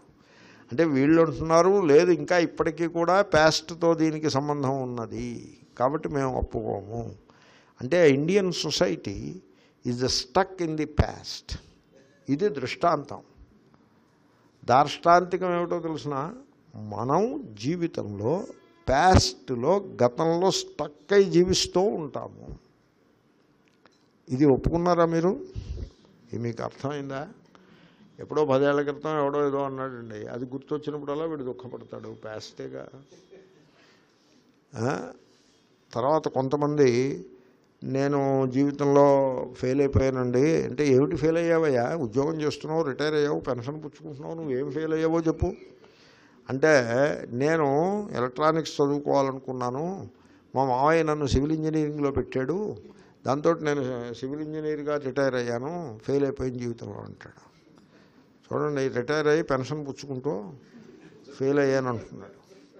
ఎప్పుడు జరిగింది ఈ ఘటన ఎప్పుడు జరిగింది అని నేను అడిగా. అడిగితే ముప్పై ఏళ్ళ క్రితం అంటే ముప్పై ఏళ్ళ క్రితం జరిగిన ఒక ఘట్టము అది మంచిది కాదు అనే అనుకో పోనీ మాట వరుసకి మంచిది కాదు అనే అనుకో. ముప్పై ఏళ్ళ క్రితం జరిగింది కదా మరిచిపోయి విశ్రాంతిగా ఉండొచ్చు కదా. ఉండలేడు. ఈ విధంగా గతము మనల్ని పీడిస్తూ ఉంటుంది. దీని నుంచి బయటపడే ఉపాయం ఏమిటి అంటే నిద్రపోతే గతం లేదు కాబట్టి పీడ తొలగిపోయినది. యామ్నీషియా అని ఒకటి ఉన్నది ఒక వ్యాధి. అంటే బ్రెయిన్ సెల్స్ పనిచేయడం మానేస్తాయి. అది వచ్చిందనుకోండి వీడికి యామ్నీషియా వచ్చిందనుకోండి ఇంక గతం ఉండదు. ఓ వెజిటబుల్లో పడి ఉంటాడు దాన్ని పరిష్కారం అని అంటారా? అది పరిష్కారం కాదు. అయితే పార్కిన్సన్స్ డిసీజ్ ఆయనకు వచ్చింది ఎవరికి యుఎస్ ప్రెసిడెంట్ రొనాల్డ్ రేగన్ గారికి పార్కిన్సన్స్ డిసీజ్ వచ్చి కాదు అల్జైమర్స్ డిసీజ్ వచ్చి ఆయన ఒక వెజిటబుల్గా తయారయ్యి ఆ తర్వాత దేహత్యాగం చేశారు. ఒకప్పుడు ప్రపంచంలో మోస్ట్ పవర్ఫుల్ యుఎస్ ప్రెసిడెంట్ ఆఖరి కాలంలో ఒక vegetable. He doesn't know anything అతనికి రష్యా అంటే కూడా తెలియదు యునైటెడ్ స్టేట్స్ అంటే కూడా తెలియదు అల్జైమర్స్ అలా చేసేసింది. అది పరిష్కారమా? ఈ గతకాలీన అనుభవముల దుఃఖమునకు అల్జైమర్స్ పరిష్కారమా? కాదు. బ్రహ్మవేత్త అంటే అల్జైమర్స్ డిసీజ్ వచ్చినవాడని మీరు అనుకోద్దు. ఆయన పరమాత్మ స్వరూపంలా ఉన్నాడంటే జగద్విస్మృతి వచ్చేసిందని మీరు అలా మాత్రం అలా అనుకోద్దు. ఇంతకుముందు ఏమన్నారు? అప్రతీతి అని అనుకోవద్దు అంటే జగత్తు కనపడడం మానేస్తుంది అని అనుకోవద్దు అన్నారు ఇప్పుడు ఏమంటున్నారు? తన స్వరూపమే మిగిలి ఉన్నది. అంటే వీడికి జగత్తు విస్మృతి వచ్చేసింది వాడి జీవితంలో జరిగిన ఘట్టాలు జగత్తులోనే జరుగుతాయి కదా. అవన్నీ వీడు విస్మరించేసి ఉంటాడు అని మీరు అనుకోవద్దు ఇప్పుడు మన పరిస్థితికి మనం అప్లై చేసుకుంటే మనం గతము యొక్క సంకల్పములతో బరువును భరిస్తూ ఉన్నాం కదా. దీనికి పరిష్కారము గతమును మరిచిపోవుటయా? లేక గతము స్మృతి పథమునందు ఉన్నప్పటికీ మిమ్మల్ని అది పీడించలేకుండుటయా? ఏది పరిష్కారము? గతమును మరిచిపోవుట పరిష్కారము కాదు. యామ్నీషియా పరిష్కారం కాదు. గతము ఉంటుంది. నేను గుర్తు చేసుకోవాలనుకుంటే గుర్తు చేసుకోగలుగుతాను. కానీ నాకు దాని ఎందు ఏమీ ప్రత్యయ బుద్ధి ఉండదు. దాని ఎందు యథార్థ బుద్ధి ఉండదు. ఈ గతమంతా కూడా ఒక కళ. కళ కాబట్టి కళ్ళ. నాకు యథార్థ బుద్ధి ఉండదు దాని ఎందు. కాబట్టి ఆ గతము నన్ను ఇంకా పీడించదు అని నేనంట. అది జ్ఞాని యొక్క స్వరూపం. పరమాత్మై వశిష్యతే అంటే అర్థం అదే. నేను ఒక డైలమా ఫేస్ చేస్తూ ఉంటా. మీ ముందు పెడతానది మీరు ఆలోచించండి పెద్దలు. నా దగ్గరికి వచ్చి కొందరు అంటారు ఏమండి నేను పుట్టి పెరిగిన ఊళ్ళో నేను కొంత సేవ చేద్దాం అనుకుంటున్నాను అని అంటాడు. అంటే నేను కాదని ఎలా అన అనగలను? అతని సంకల్పం మంచి సంకల్పం కదా. ఇప్పుడు వెయ్యి రూపాయలు సంపాదించుకుంటూ దాంట్లో వంద రూపాయలు రెండు వందలు కేటాయించి ఆ సొమ్ము నాకు వద్దు నేను దాన్ని ఇతరులకి ఇచ్చేస్తాను అని అంటున్నాడు. అంటే దాతృత్వాన్ని ప్రదర్శిస్తున్నాడు. తర్వాత ఇంకొక అడుగు ముందుకు వేసి ఈ సొమ్ముతో జరిగే పుణ్యకార్యానికి నా పేరు కూడా అక్కర్లేదు అంటున్నాడు. అంటే అహంకారాన్ని కూడా త్యాగం చేసే ప్రయత్నం చేస్తున్నాడు. కానీ మా పుట్టినూళ్ళో చేయాలి ఇది అంటున్నాడు. అంటే కొంత అహంకారాన్ని త్యాగం చేశాడు ఇంకో కొంత అహంకారాన్ని అట్టి పెట్టుకున్నాడు. ఇప్పుడు నేను దాన్ని సపోర్ట్ చేయాలా అపోజ్ చేయాలా? నేను అపోజ్ చేశాను అనుకోండి అదేమిటండి? మంచి పని చేస్తానంటే ఈయన అడ్డుపడుతున్నాడు ఏమిటని అనిపిస్తుంది. సపోర్ట్ అయితే సపోర్ట్ చేయాలి. నేను నాకు సపోర్ట్ చేయాలంటే నాకు మనస్సులో ఒక ఒక చిన్న ఆటంకం ఉంటుంది. ఏమిటంటే ఇతను తాను పుట్టాను అనే నిశ్చయం ఏది కలదో దాన్ని మరింత గట్టి చేసుకుంటున్నాడు. ఎందుకంటే తాను పుట్టాను అన్నవాడికే పుట్టిన ఊరు అనేది ఒకటి ఉంటుంది. దాన్ని గట్టి చేసుకుంటున్నాడు. ఇంకా వీడి ఈ జన్మలో వీడు నేను పుట్టలేదని తెలుసుకోవటం కుదరదు ఇంకా. ఎందుకు కుదురుతుంది? ఎందుకంటే వాడు కష్టపడి సంపాదించిన దాంట్లో కొంత సొమ్ము సపరేట్ చేసి దానిని తాను పుట్టిన ఊళ్ళో దాన్ని ఖర్చు పెట్టి సేవ చేస్తున్నాడంటే ఎక్కడ సేవ చేస్తున్నావు అంటే నేను పుట్టిన ఊళ్ళో సేవ చేస్తున్నాను ఇంకా వాడు నేను పుట్టలేదు అజహ అనే మాట ఇంకా వాడి దగ్గరికి రాదు దరిదాపులకి రాదు.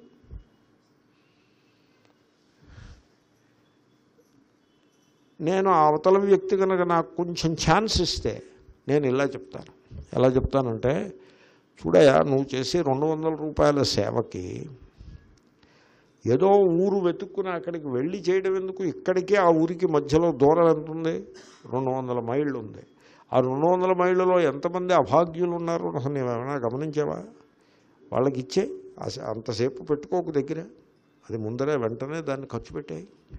నువ్వు మీ ఊరు వెళ్ళి ఏం చేద్దాం అనుకుంటున్నావు? భేదవాళ్ళకి నీ చుట్టుపక్కల భేదవాళ్ళు లేరు. వాళ్ళకి ఇచ్చేసే ఇచ్చేసి వదిలి చేసుకో దెన్ యు ఇగ్నోర్ ఇట్. మరిచిపోవని నేను చెప్పట్లేదు. మరిచిపోవని మాట వరుసకు అన్నప్పటికీ నా అభిప్రాయం అమ్నీషియాలోకి వెళ్ళిపోవని కాదు. నా అభిప్రాయం అది కాదు. నేను చేశాను అనే జీవభావాన్ని బలం చేసుకోవద్దు అని. ఏమండి? ఇప్పుడు ఆ ఊళ్ళో నేను పుట్టాను. ఈ డబ్బు అక్కడ ఖర్చు పెడతాను అని మీరు చేశారనుకోండి నేను పుట్టాను అనే భావన మరింత దృఢపడుతుంది. దాంతోపాటుగా గతమంతా కూడా వచ్చి మీ నెత్తి మీద తాండవం చేస్తుంది. మీరు ఈ సెల్ఫ్ కాంట్రడిక్షన్ ఇదంతా కూడా సెల్ఫ్ కాంట్రడిక్షన్. జ్ఞానికి ఈ సమస్యలు ఏమి ఉండవు. ఆయనకి అంటే దాని అర్థం ఆయన అమ్నీషియాలో పడ్డాడని మాత్రం అనుకోవద్దు. ఏమండి? ఒకచో యామ్నీషియా ఉన్నప్పుడు మాత్రమే వాడు జీవన్ముక్తుడవుతాడు అన్నట్లయితే ఇంక జీవన్ముక్తి అనే మాటకే అర్థం లేకుండా అయిపోతుంది. అది కాదు ఇక్కడ పరిస్థితి. అంటే అలా చెప్పచ్చు ఆ శ్లోకాన్ని అలా చెప్పచ్చు అదే శ్లోకాన్ని ఇంకో రకంగా కూడా చెప్పచ్చు. ఎలాగా? జీవభావమే సత్యమైనట్లయితే జీవభావమే సత్యమైన పక్షంలో జగత్తు కూడా సత్యమైపోతుంది అప్పుడు ఈ జగత్తుని జీవులని నిర్వహిస్తూ ఉండేటువంటి దేవుడు తమ కంటే భిన్నంగానే ఉంటాడు. కాబట్టి ఇంకప్పుడు జీవభావము తొలగిపోయే ప్రసక్తి లేదు ఈశ్వరునిలో కలిసే ప్రసక్తి లేదు. కాబట్టి జీవన్ముక్తి అనేది అసంభవమగును అని కూడా ఆ శ్లోకాన్ని ఆ విధంగా కూడా మీరు వ్యాఖ్యానించవచ్చును. తెలిసింది కదండి? అందాము నోచేత్ అట్లుగానిచో అనగా జీవభావము మిథ్యగానిచో. ముక్తి జీవన్ముక్తి జీవించి ఉండగా మోక్షమును పొందుట అనేది న సంభవేత్ సంభవము కాకుండెడిది. కాబట్టి జీ సంభ జీవన్ముక్తి సంభవమే. జ్ఞానికి అమ్నిషియా అంటూ ఏముండదు. ఆ జగత్తు తెలుస్తూనే ఉంటుంది ప్రతీతి ఉంటుంది గతము తెలుస్తూనే ఉంటుంది కాలము దాని కదలిక అన్నీ తెలుస్తూనే ఉంటాయి. అయినా కూడా మిథ్యాత్వ నిశ్చయం ఉండటం చేత అవి వా- అవి అతనిని బంధించవు. తర్వాత జ్ఞానియందు తాను ఆ ఊరువాడు ఈ ఊరువాడు మొదలైనటువంటి అటువంటి భావనలు ఏవైతే ఉంటాయో వాటిని అన్నింటినీ మరిచిపోతాడని మీరు అనుకోద్దు అవన్నీ తెలుస్తూనే ఉంటాయి.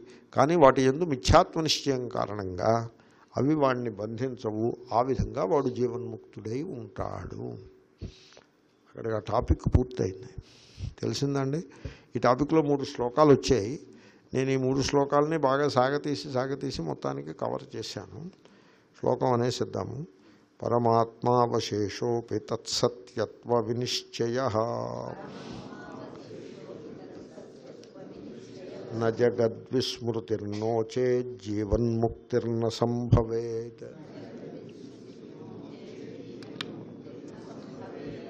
परोक्षाचापरोक्षेति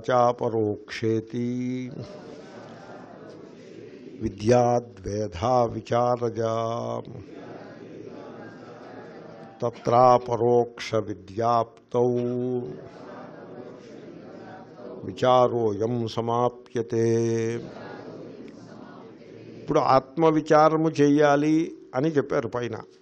ఏమని చెప్పారు పైన అంటే ఇది బోధో భవేత్ విద్యా లభ్యతే సౌవిచారణాత్ అని చెప్పారు. సదా విచారయేత్ ముందు శ్లోకంలో ఏం చెప్పారు? మీరు విచారము చేయుట ద్వారా జ్ఞానము ఉదయించును అని చెప్పారు. అప్పుడు చెప్పాను నేను మళ్ళీ సమయం వచ్చింది కాబట్టి మళ్ళీ అంటున్నాను. మీరు పెద్దలు విచారము చేయడం అత్యావశ్యకం. విచారము చేయవలను. ఏమండి? విచారము చేయకుండా అంటే ద ఫిలసాఫికల్ థింకింగ్కి విచారము అని పేరు. ఈ ఫిలసాఫికల్ థింకింగ్ ఉండాలి. ఇప్పుడు ఏదో ఏదో ఒక దేవుడు మతము పూజా విధానము మీరు అందిపుచ్చుకుని అది మీకు ఎక్కడి నుంచి వచ్చింది? మీరు మీ ఇంట్లో రాముణ్ణో కృష్ణునో లేకపోతే విష్ణువునో శివుణ్ణో పూజిస్తున్నారండి. ఈ పూజా విధానము మీకు ఎక్కడి నుంచి వచ్చింది ఇది? మీరేమైనా తపస్సు చేసి బాగా విచారము చేసి సత్యాన్ని కనుగొన్నది ఆ విధంగా వచ్చిందా మీకు? అలా రాలేదు కదా మీకు ఎక్కడి నుంచి వచ్చింది అది? అంటే మరి పెద్దలు ఎవళ్ళు కూడా పెద్దవాళ్ళము అనుకునే వాళ్ళు కూడా ఆలోచించడం మానేశారు. అందుకోసం నేను ఇలా చెప్తున్నా. మీకు ఎక్కడి నుంచి వచ్చింది? సో దాని ముఖం మీదే రాసుందిగా. ఇప్పుడు ఒక ఆయన పెద్ద టెంట్ దాంట్లో కుంభమేళాలో పెద్ద టెంట్ వేసుకుని ఆ టెంట్ ముందు బ్రహ్మ విద్యాపారీణ సత్యన్ సత్య స్వామి అని బోర్డు పెట్టారు. అటువైపు వెళ్తున్న ఓ మహాత్ముడు ఈయనెవరో బ్రహ్మ విద్యానిష్ఠుడు ఈయన ఒకసారి దర్శిద్దామని లోపలికి వెళ్ళాడు. లోపలికి వెళ్తే ఓ మిడిల్ ఏజ్డ్ పెర్సన్ ముప్పై ముప్పై ఐదేళ్ళ మిడిల్ ఏజ్డ్ గాయ పెద్ద సింహాసనం మీద కూర్చుని ఉన్నాడు. ఏమంటే బ్రహ్మ విద్యాపారేణ ఫలానా స్వామి ఎవరంటే వారే అని చూపించారు శిష్యులు. వారి దగ్గరికి వెళ్ళి మీరు బ్రహ్మ విద్యాపారాయణులని తెలిసి నేను నా జీవితము ధన్యమైనది మీ దర్శనమైనది మీరు బ్రహ్మ విద్యని నాకు కొద్దిగా బోధించండి అని అడిగాడు. అడిగితే ఆయన చెప్పాడు నాకు అవన్నీ ఏం తెలియవయా నువ్వు బ్రహ్మ విద్య అని చెప్పేసి నా ప్రాణం తీయకూడదు చెప్పాడు. అంటే అలా కాదు మరి బ్రహ్మ విద్యా పారీణని ఉంది కదా అంటే చూడు మా గురువు గారు పేరు అది మా గురువు గారు అది ఆయనది అది బిరుదు. ఆయన తర్వాత ఆ సింహాసనం నా- నన్ను కూర్చోబెట్టారు. ఆ సింహాసనం మీద కూర్చోబెట్టి నువ్వు కూడా బ్రహ్మ విద్యా పారీణ అని నాకు ఆయన బిరుదు ఇచ్చారు. ఆ విధంగా వచ్చింది నాకని చెప్పాడు ఆయన. అర్థమైందండి? కాబట్టి వీడికి వీడు సింహాసనం మీద కూర్చున్నాడంటే ఆ సింహాసనాన్ని వాడు నిర్మించుకోలేదు. వాడు గురువుగారు తయారు చేయించి వీడికి ఇచ్చారు. ఆ విధంగా వచ్చిన సింహాసనం. ఆ సింహాసనంలో మంచున్నా గురువుగారిదే చెడున్నా గురువుగారిదే. అలాగే ఆ బిరుదం మంచైనా గురువుగారిది చెడైనా గురువు గారిదే యోగ పట్టము అని ఒకటి ఇచ్చాడు అని ఈ ఈ మఠాల్లోనూ పీఠాల్లోనూ యోగ పట్టం ఇచ్చారని. యోగ పట్టం ఇవ్వడం అంటే అర్థం ఏంటో తెలుసిన?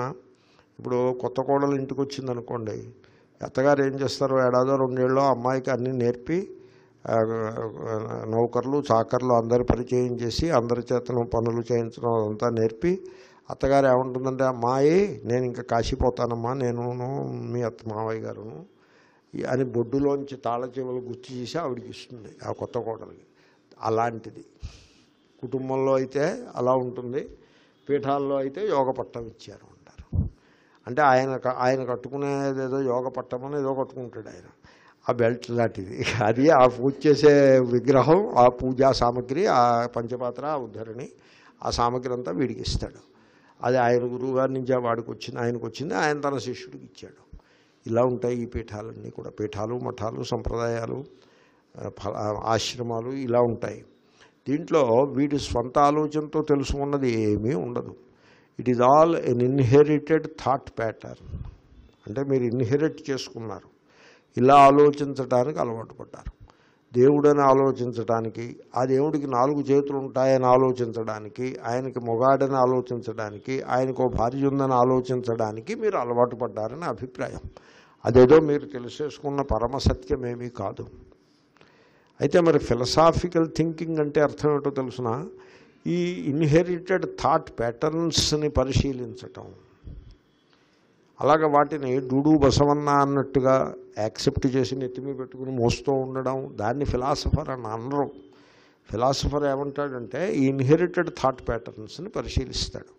ఎలా పరిశీలిస్తాడంటే నేను మీకు మనవి చేశాను. ఇప్పుడు దేవుడు మనం పూజించే దేవుడు మన కల్చరల్ అండ్ మన సోషల్ సిస్టమ్స్ నుంచి మన ఆవిర్భవించాడు అని ఓ మహాత్ముడు అన్నాడు the gods that we worship are shaped by our desires and fears అని అన్నాడు.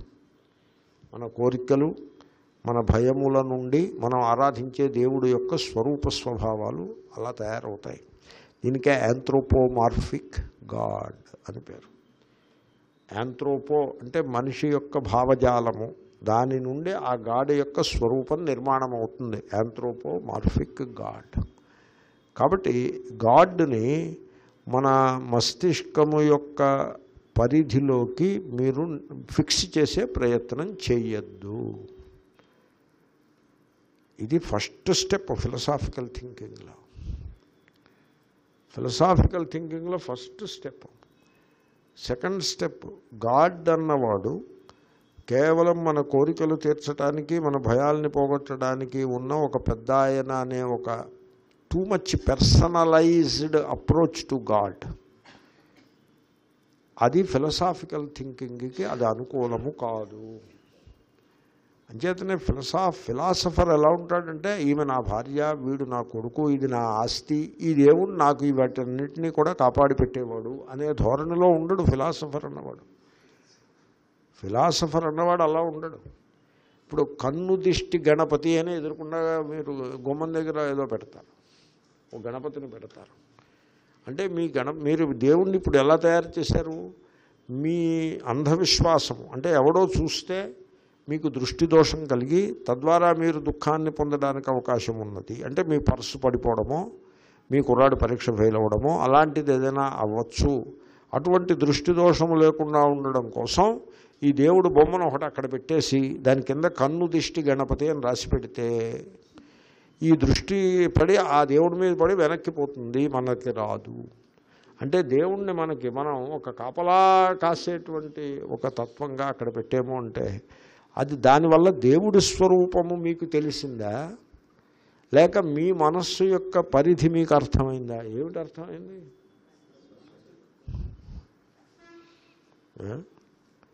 ఫిలాస ఫిలసాఫికల్ థింకింగ్ అలా ఉండదు. ఇప్పుడు నేను చెప్పినట్టు ఉంటుంది.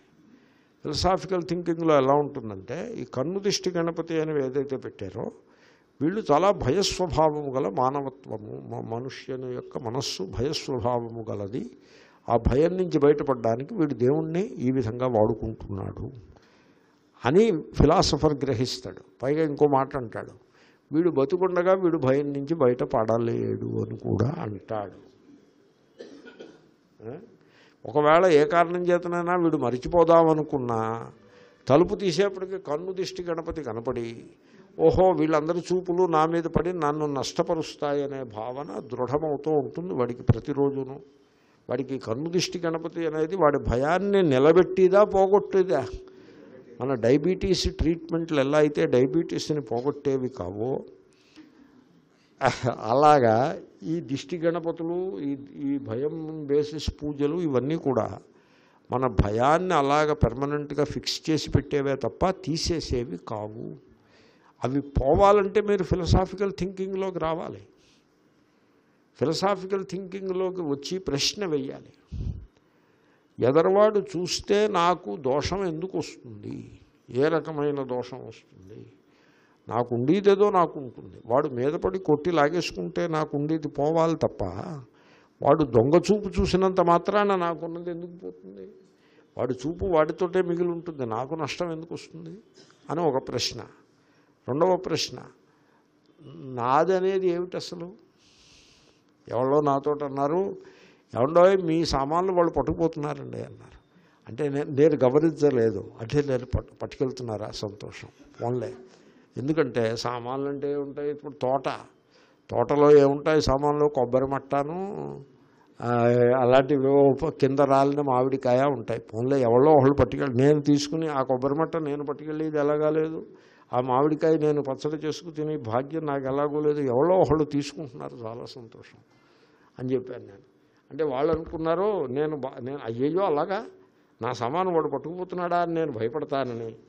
బాధపడతానని దానికి తగిన స్టెప్స్నే తీసుకుంటారని వాళ్ళు అనుకున్నారు. కానీ నా ఆలోచన ఇలా పడింది. కాబట్టి ఫిలసాఫికల్ థింకింగ్లో పడాలి. ఫిల- విచారం చేయాలి అంతేకాని థాట్ ప్యాటర్న్స్ని ఇన్హెరిట్ చేసుకుని వాటిల్లోనే కూర్చుండిపోవడం అన్నది వివేకవంతుల లక్షణం కాదు.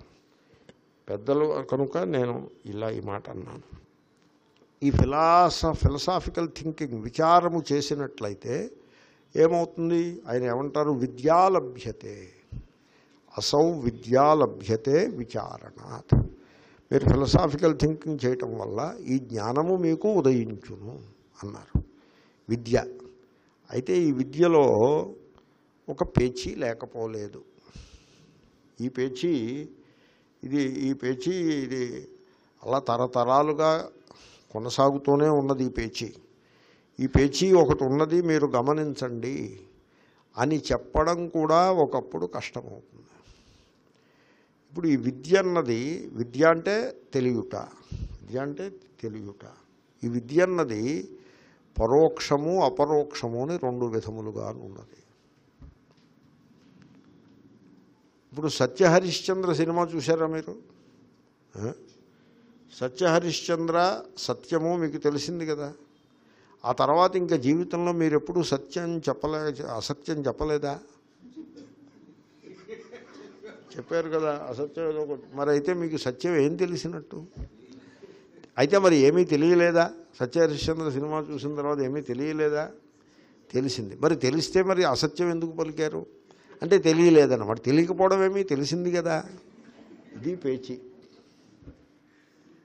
ఇప్పుడు వేదాంతం చదువుకున్నాడు. నేను రోజు పొద్దున్నే పళ్ళు తోముకుంటున్నాను.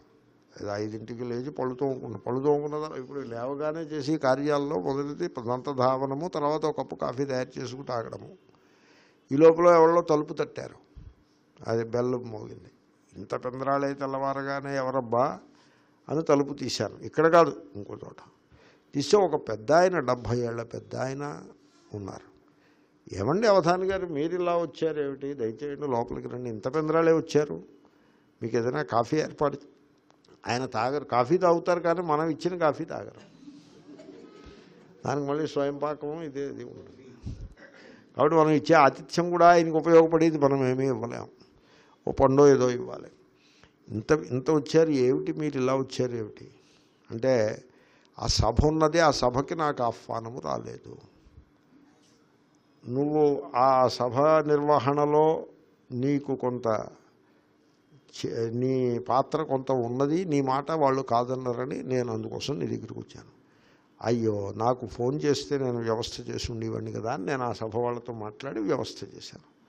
సరే ఆ పని అయిపోయింది. వారికి నేను వారిని యథోచితంగా ఇంటికి వచ్చిన అతిథి దేవో భవ యథోచితంగా వారిని నేను సత్కరించి పంపించాను. వారు ఆ సభలో పాల్గొన్నారు. వాళ్ళు కూడా అయ్యో మేము పొరపాటు చేసామండి మాకు తెలియలేదు మీ చిరునామా తెలియలేదంటే ఏదో క్షమాపణ చెప్పి ఆయనకి సభలో భాగం చేసుకున్నారు. ఆయన పండితుడు. ఆయన సభకు వస్తే శోభ సభకి. ఆయన్ని విస్మరించడం వీళ్ళ తెలివి వీళ్ళ తెలివి తక్కువ. అది నేను సర్దుబాటు చేశాను.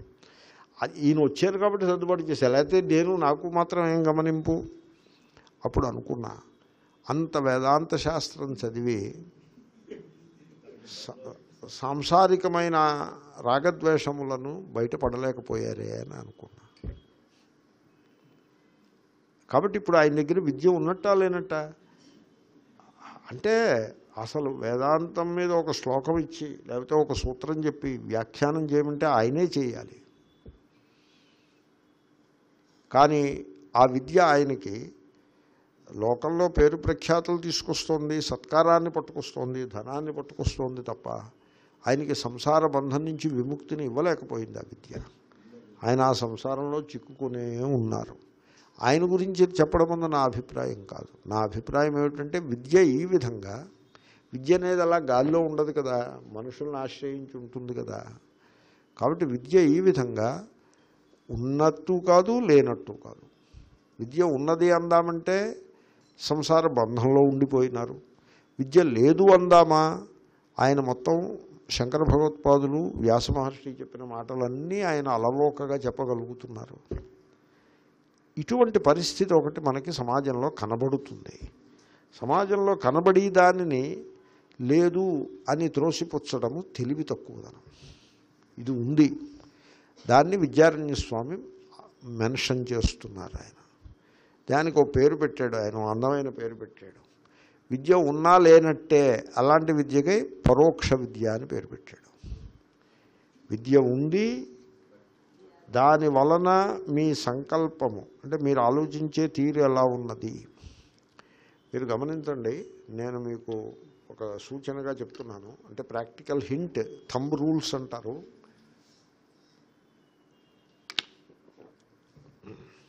దీన్ని సైకాలజీలో the way you feel and think అని అంటారు. The way you feel and think అని అంటారు. ఇప్పుడు ఎదుటి వ్యక్తిని చూడగానే వీడి చేత వీడిని మనం పనిలో పెట్టి వీడి చేత వీడి దగ్గర వర్క్ తీసుకుందాము అని మీకు అనిపించింది అనుకోండి మీ మాట మీ చేత దానికి తగ్గట్టు ఉంటాయి కదా.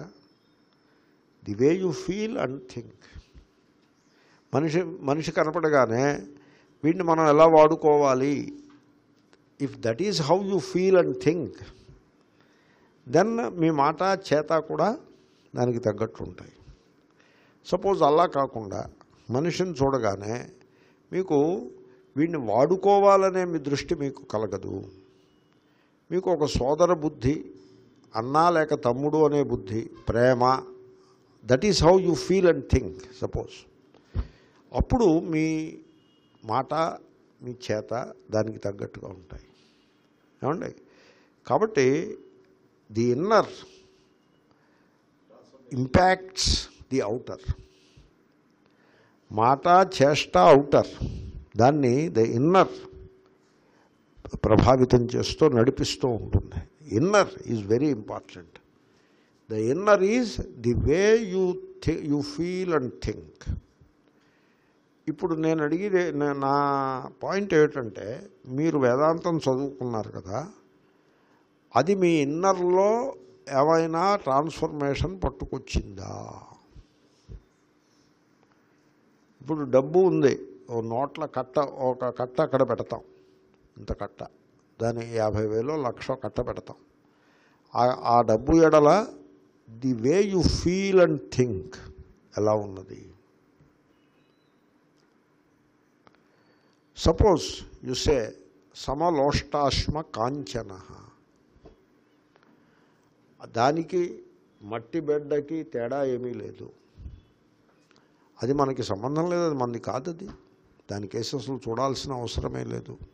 యు వాక్ యువర్ వే కదా? సపోజ్ మీకు లోభం ఉందనుకోండి అప్పుడు మీ మాట చేత భిన్నంగా ఉంటాయి. కాబట్టి మీరు వేదాంత మీరు చదివిన వేదాంతము మీ మా మీ ఇన్నర్ ఇన్నర్ అంటే ఏమిటి? రెండు. Feel and think. అది inner. Say and do. Outer think అన్నది ఇంటలెక్ట్కి చెందినది. ఫీల్ అన్నది సోల్ సోల్కి చెందిన ఆత్మకు చెందినది. దట్ ఇది inner. Feel and think. Say and do. అదే అవుటర్ ఎందుకంటే మీరు ఏది పలికితే అది ఇతరులకు తెలుస్తూ ఉంటుంది. మీరు చేసేది కనపడుతూ ఉంటుంది. కాబట్టి మీ ఇన్నర్లో మార్పు తీసుకొచ్చే విద్యకి అపరోక్ష విద్య అని పేరు. ఇన్నర్లో మార్పు లేదు. ఊరికే ఇంటలెక్ట్లో ఉంది పలుకులో పలుకుతున్నారు. పైకి చెప్తున్నారు ఇంటలెక్ట్లో దాన్ని హోల్డ్ చేసి పెట్టుకున్నారు. మీ way the way you feel and think దాని మీద ఎట్టి ప్రభావము లేదు. అంటే ఇప్పటికీ మీకు ధనమునందు తృష్ణ లోభము కలదు. వ్యక్తులపై శత్రుబుద్ధి కలదు. తర్వాత ఇతరులను ఎక్స్ప్లాయిట్ చేయాలనేటువంటి ఆ ఫ్యూడలిస్టిక్ సంస్కారము గలదు తర్వాత ఫ్రాగ్మెంటరీ థింకింగ్ వీడి కులము వాడా మతము అని అలాగ మనుషుల్ని విడదీసి ఆలోచించే స్వభావము గలదు అంటే అర్థం ఏమిటి ఇవన్నీ అలాగే ఉన్నాయి అంటే మీరు నేర్చిన విద్య అది పరోక్ష విద్యగానే ఉండిపోయింది.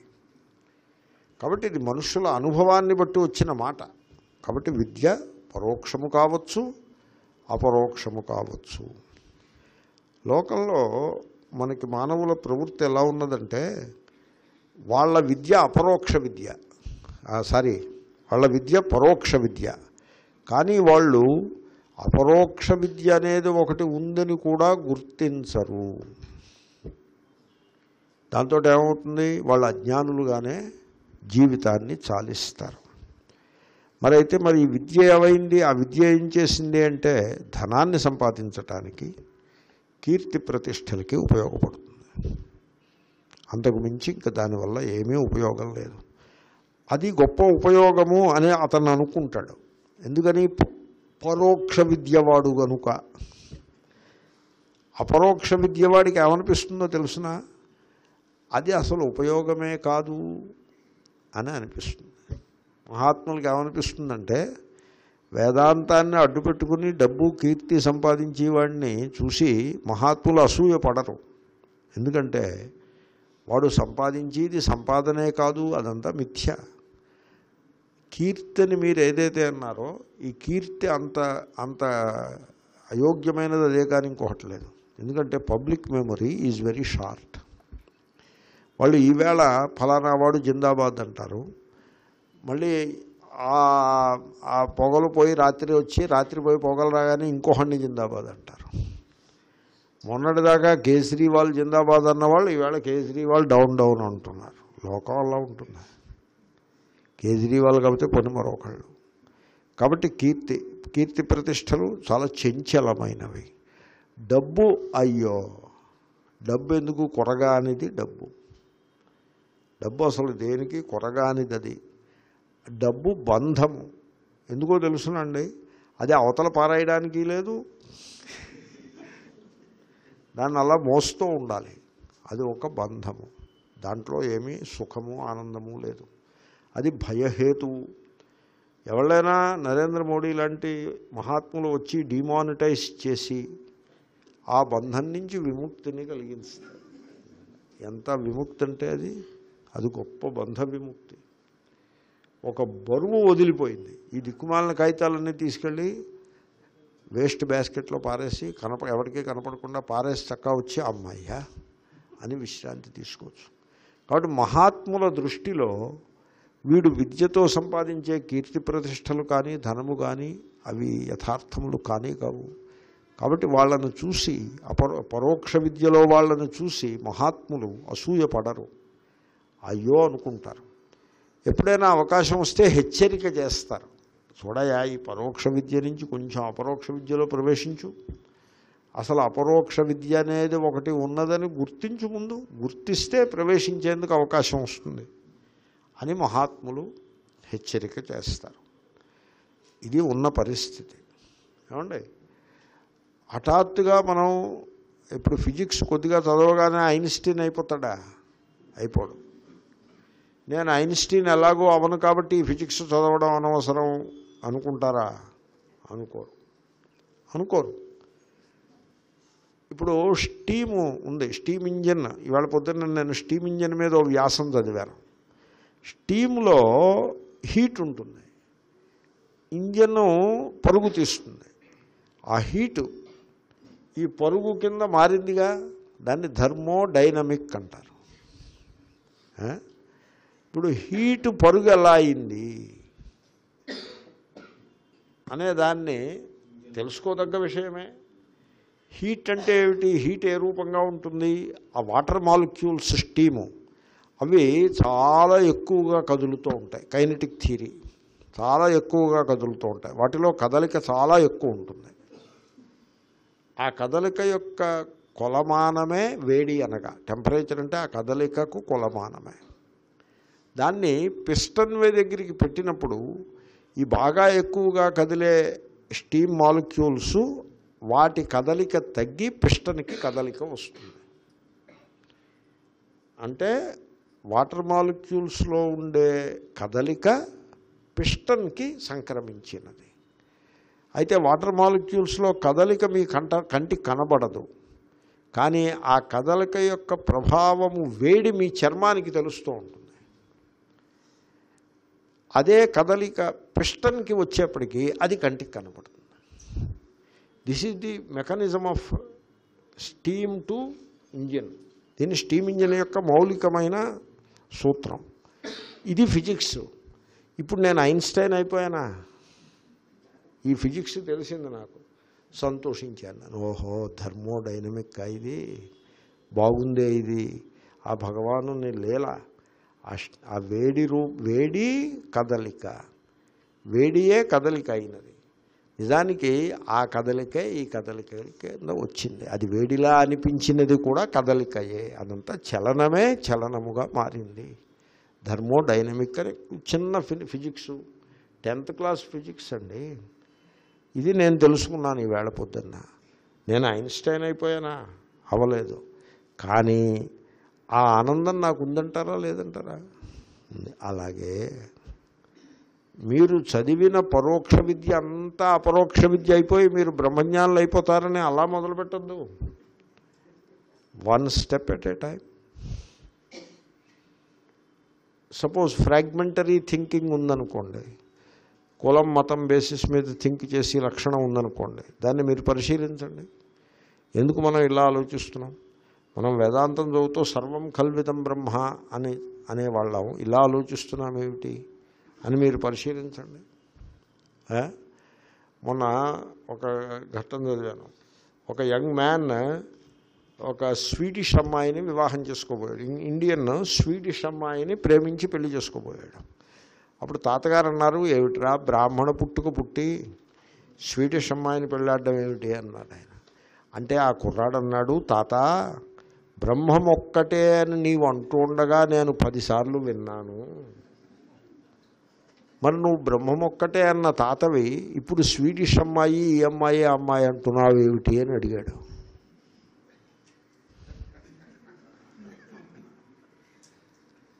అది. సో అతను నన్ను అడిగారు. నన్ను అడిగితే నీ నీవు అన్న మాటే కరెక్టాయా? ఏమంటే మీ ఆలోచన కొంచెం మార్చుకోండి అని నేను సలహా చెప్పాను. నన్ను జడ్జిమెంట్ చేయమంటే నేను అలా చెప్పాను. కాబట్టి బ్రహ్మం ఒక్కటే అన్నది అది పరోక్షంగా ఉండిపోవడం ఎందుకని? అపరోక్షంగా మనం తెచ్చుకోవాలి. ఆ- ఆ చిన్న పని చేయండి మీరు. చిన్న పని ఫ్రాగ్మెంటరీ థింకింగ్ని విడిచిపెట్టి మానవులందరూ ఒక్కటే. అందరిలో ఒకే ఆత్మ గలదు. అందరూ సోదరుడే అందరూ అందరూ ఎందు ఒకే ఆత్మ ఒకే దైవము. ఒకే ఆత్మ కలదు అంటే జ్ఞానము. ఒకే దైవము కలదు అంటే భక్తి. అది భక్తి అసలైన భక్తి అది. Take that simple step come out of this fragmentary thinking అది అపరోక్ష విద్య అవుతుంది. మీ ఫ్రాగ్మెంటరీ థింకింగ్ మీరు అట్టి పెట్టుకుంటాము అంటే మీ విద్య అది పరోక్ష విద్య అయిపోతుంది. పరోక్ష విద్యగా ఉన్నంత వరకు అది కాంట్రడిక్షన్ అవుతుంది. ఎందుకంటే మీ ఇన్నర్కిను విద్యకి ఎక్కడ పోలిక ఉండదు. కాంట్రడిక్షన్ అంటే వైరుధ్యం ఉంటుంది. అంతేకాదండి ఒకప్పుడు హిపాక్రసీ అవుతుంది. అంటే దంభముగా కూడా ఉంటుంది. అంటే మాట వరుసకి పైకి బ్రహ్మం ఒక్కటే అంటూ ఉంటారు. కానీ మీరు చేసే చేష్టలు చూసినట్లయితే దానికి ఆపోజిట్ ఉంటాయి. దీన్నే దంభము అని అంటారు.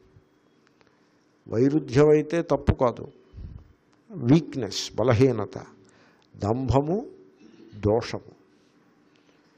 కాబట్టి ఈ అపరోక్ష విద్య పరోక్ష విద్య దీన్ని కొంత పరిశీలిద్దాము. మళ్ళీ క్లాస్లో పరిశీలిద్దాము. ఈవేళ ఫ్రైడే. మళ్ళీ క్లాస్ ఎప్పుడంటే ఐదు ఫిబ్రవరి. ఫిబ్రవరి ఐదు సోమవారం అయింది. ఆ వేళ క్లాస్లో ఈ శ్లోకాన్ని ముందుకు తీసుకువెళ్తాను. ఓం పూర్ణముద పూర్ణమిదం. పూర్ణముద్యతే పూర్ణస్ పూర్ణమాదాయ పూర్ణమేవాశిష్యతే ओम शांति शांति शांति।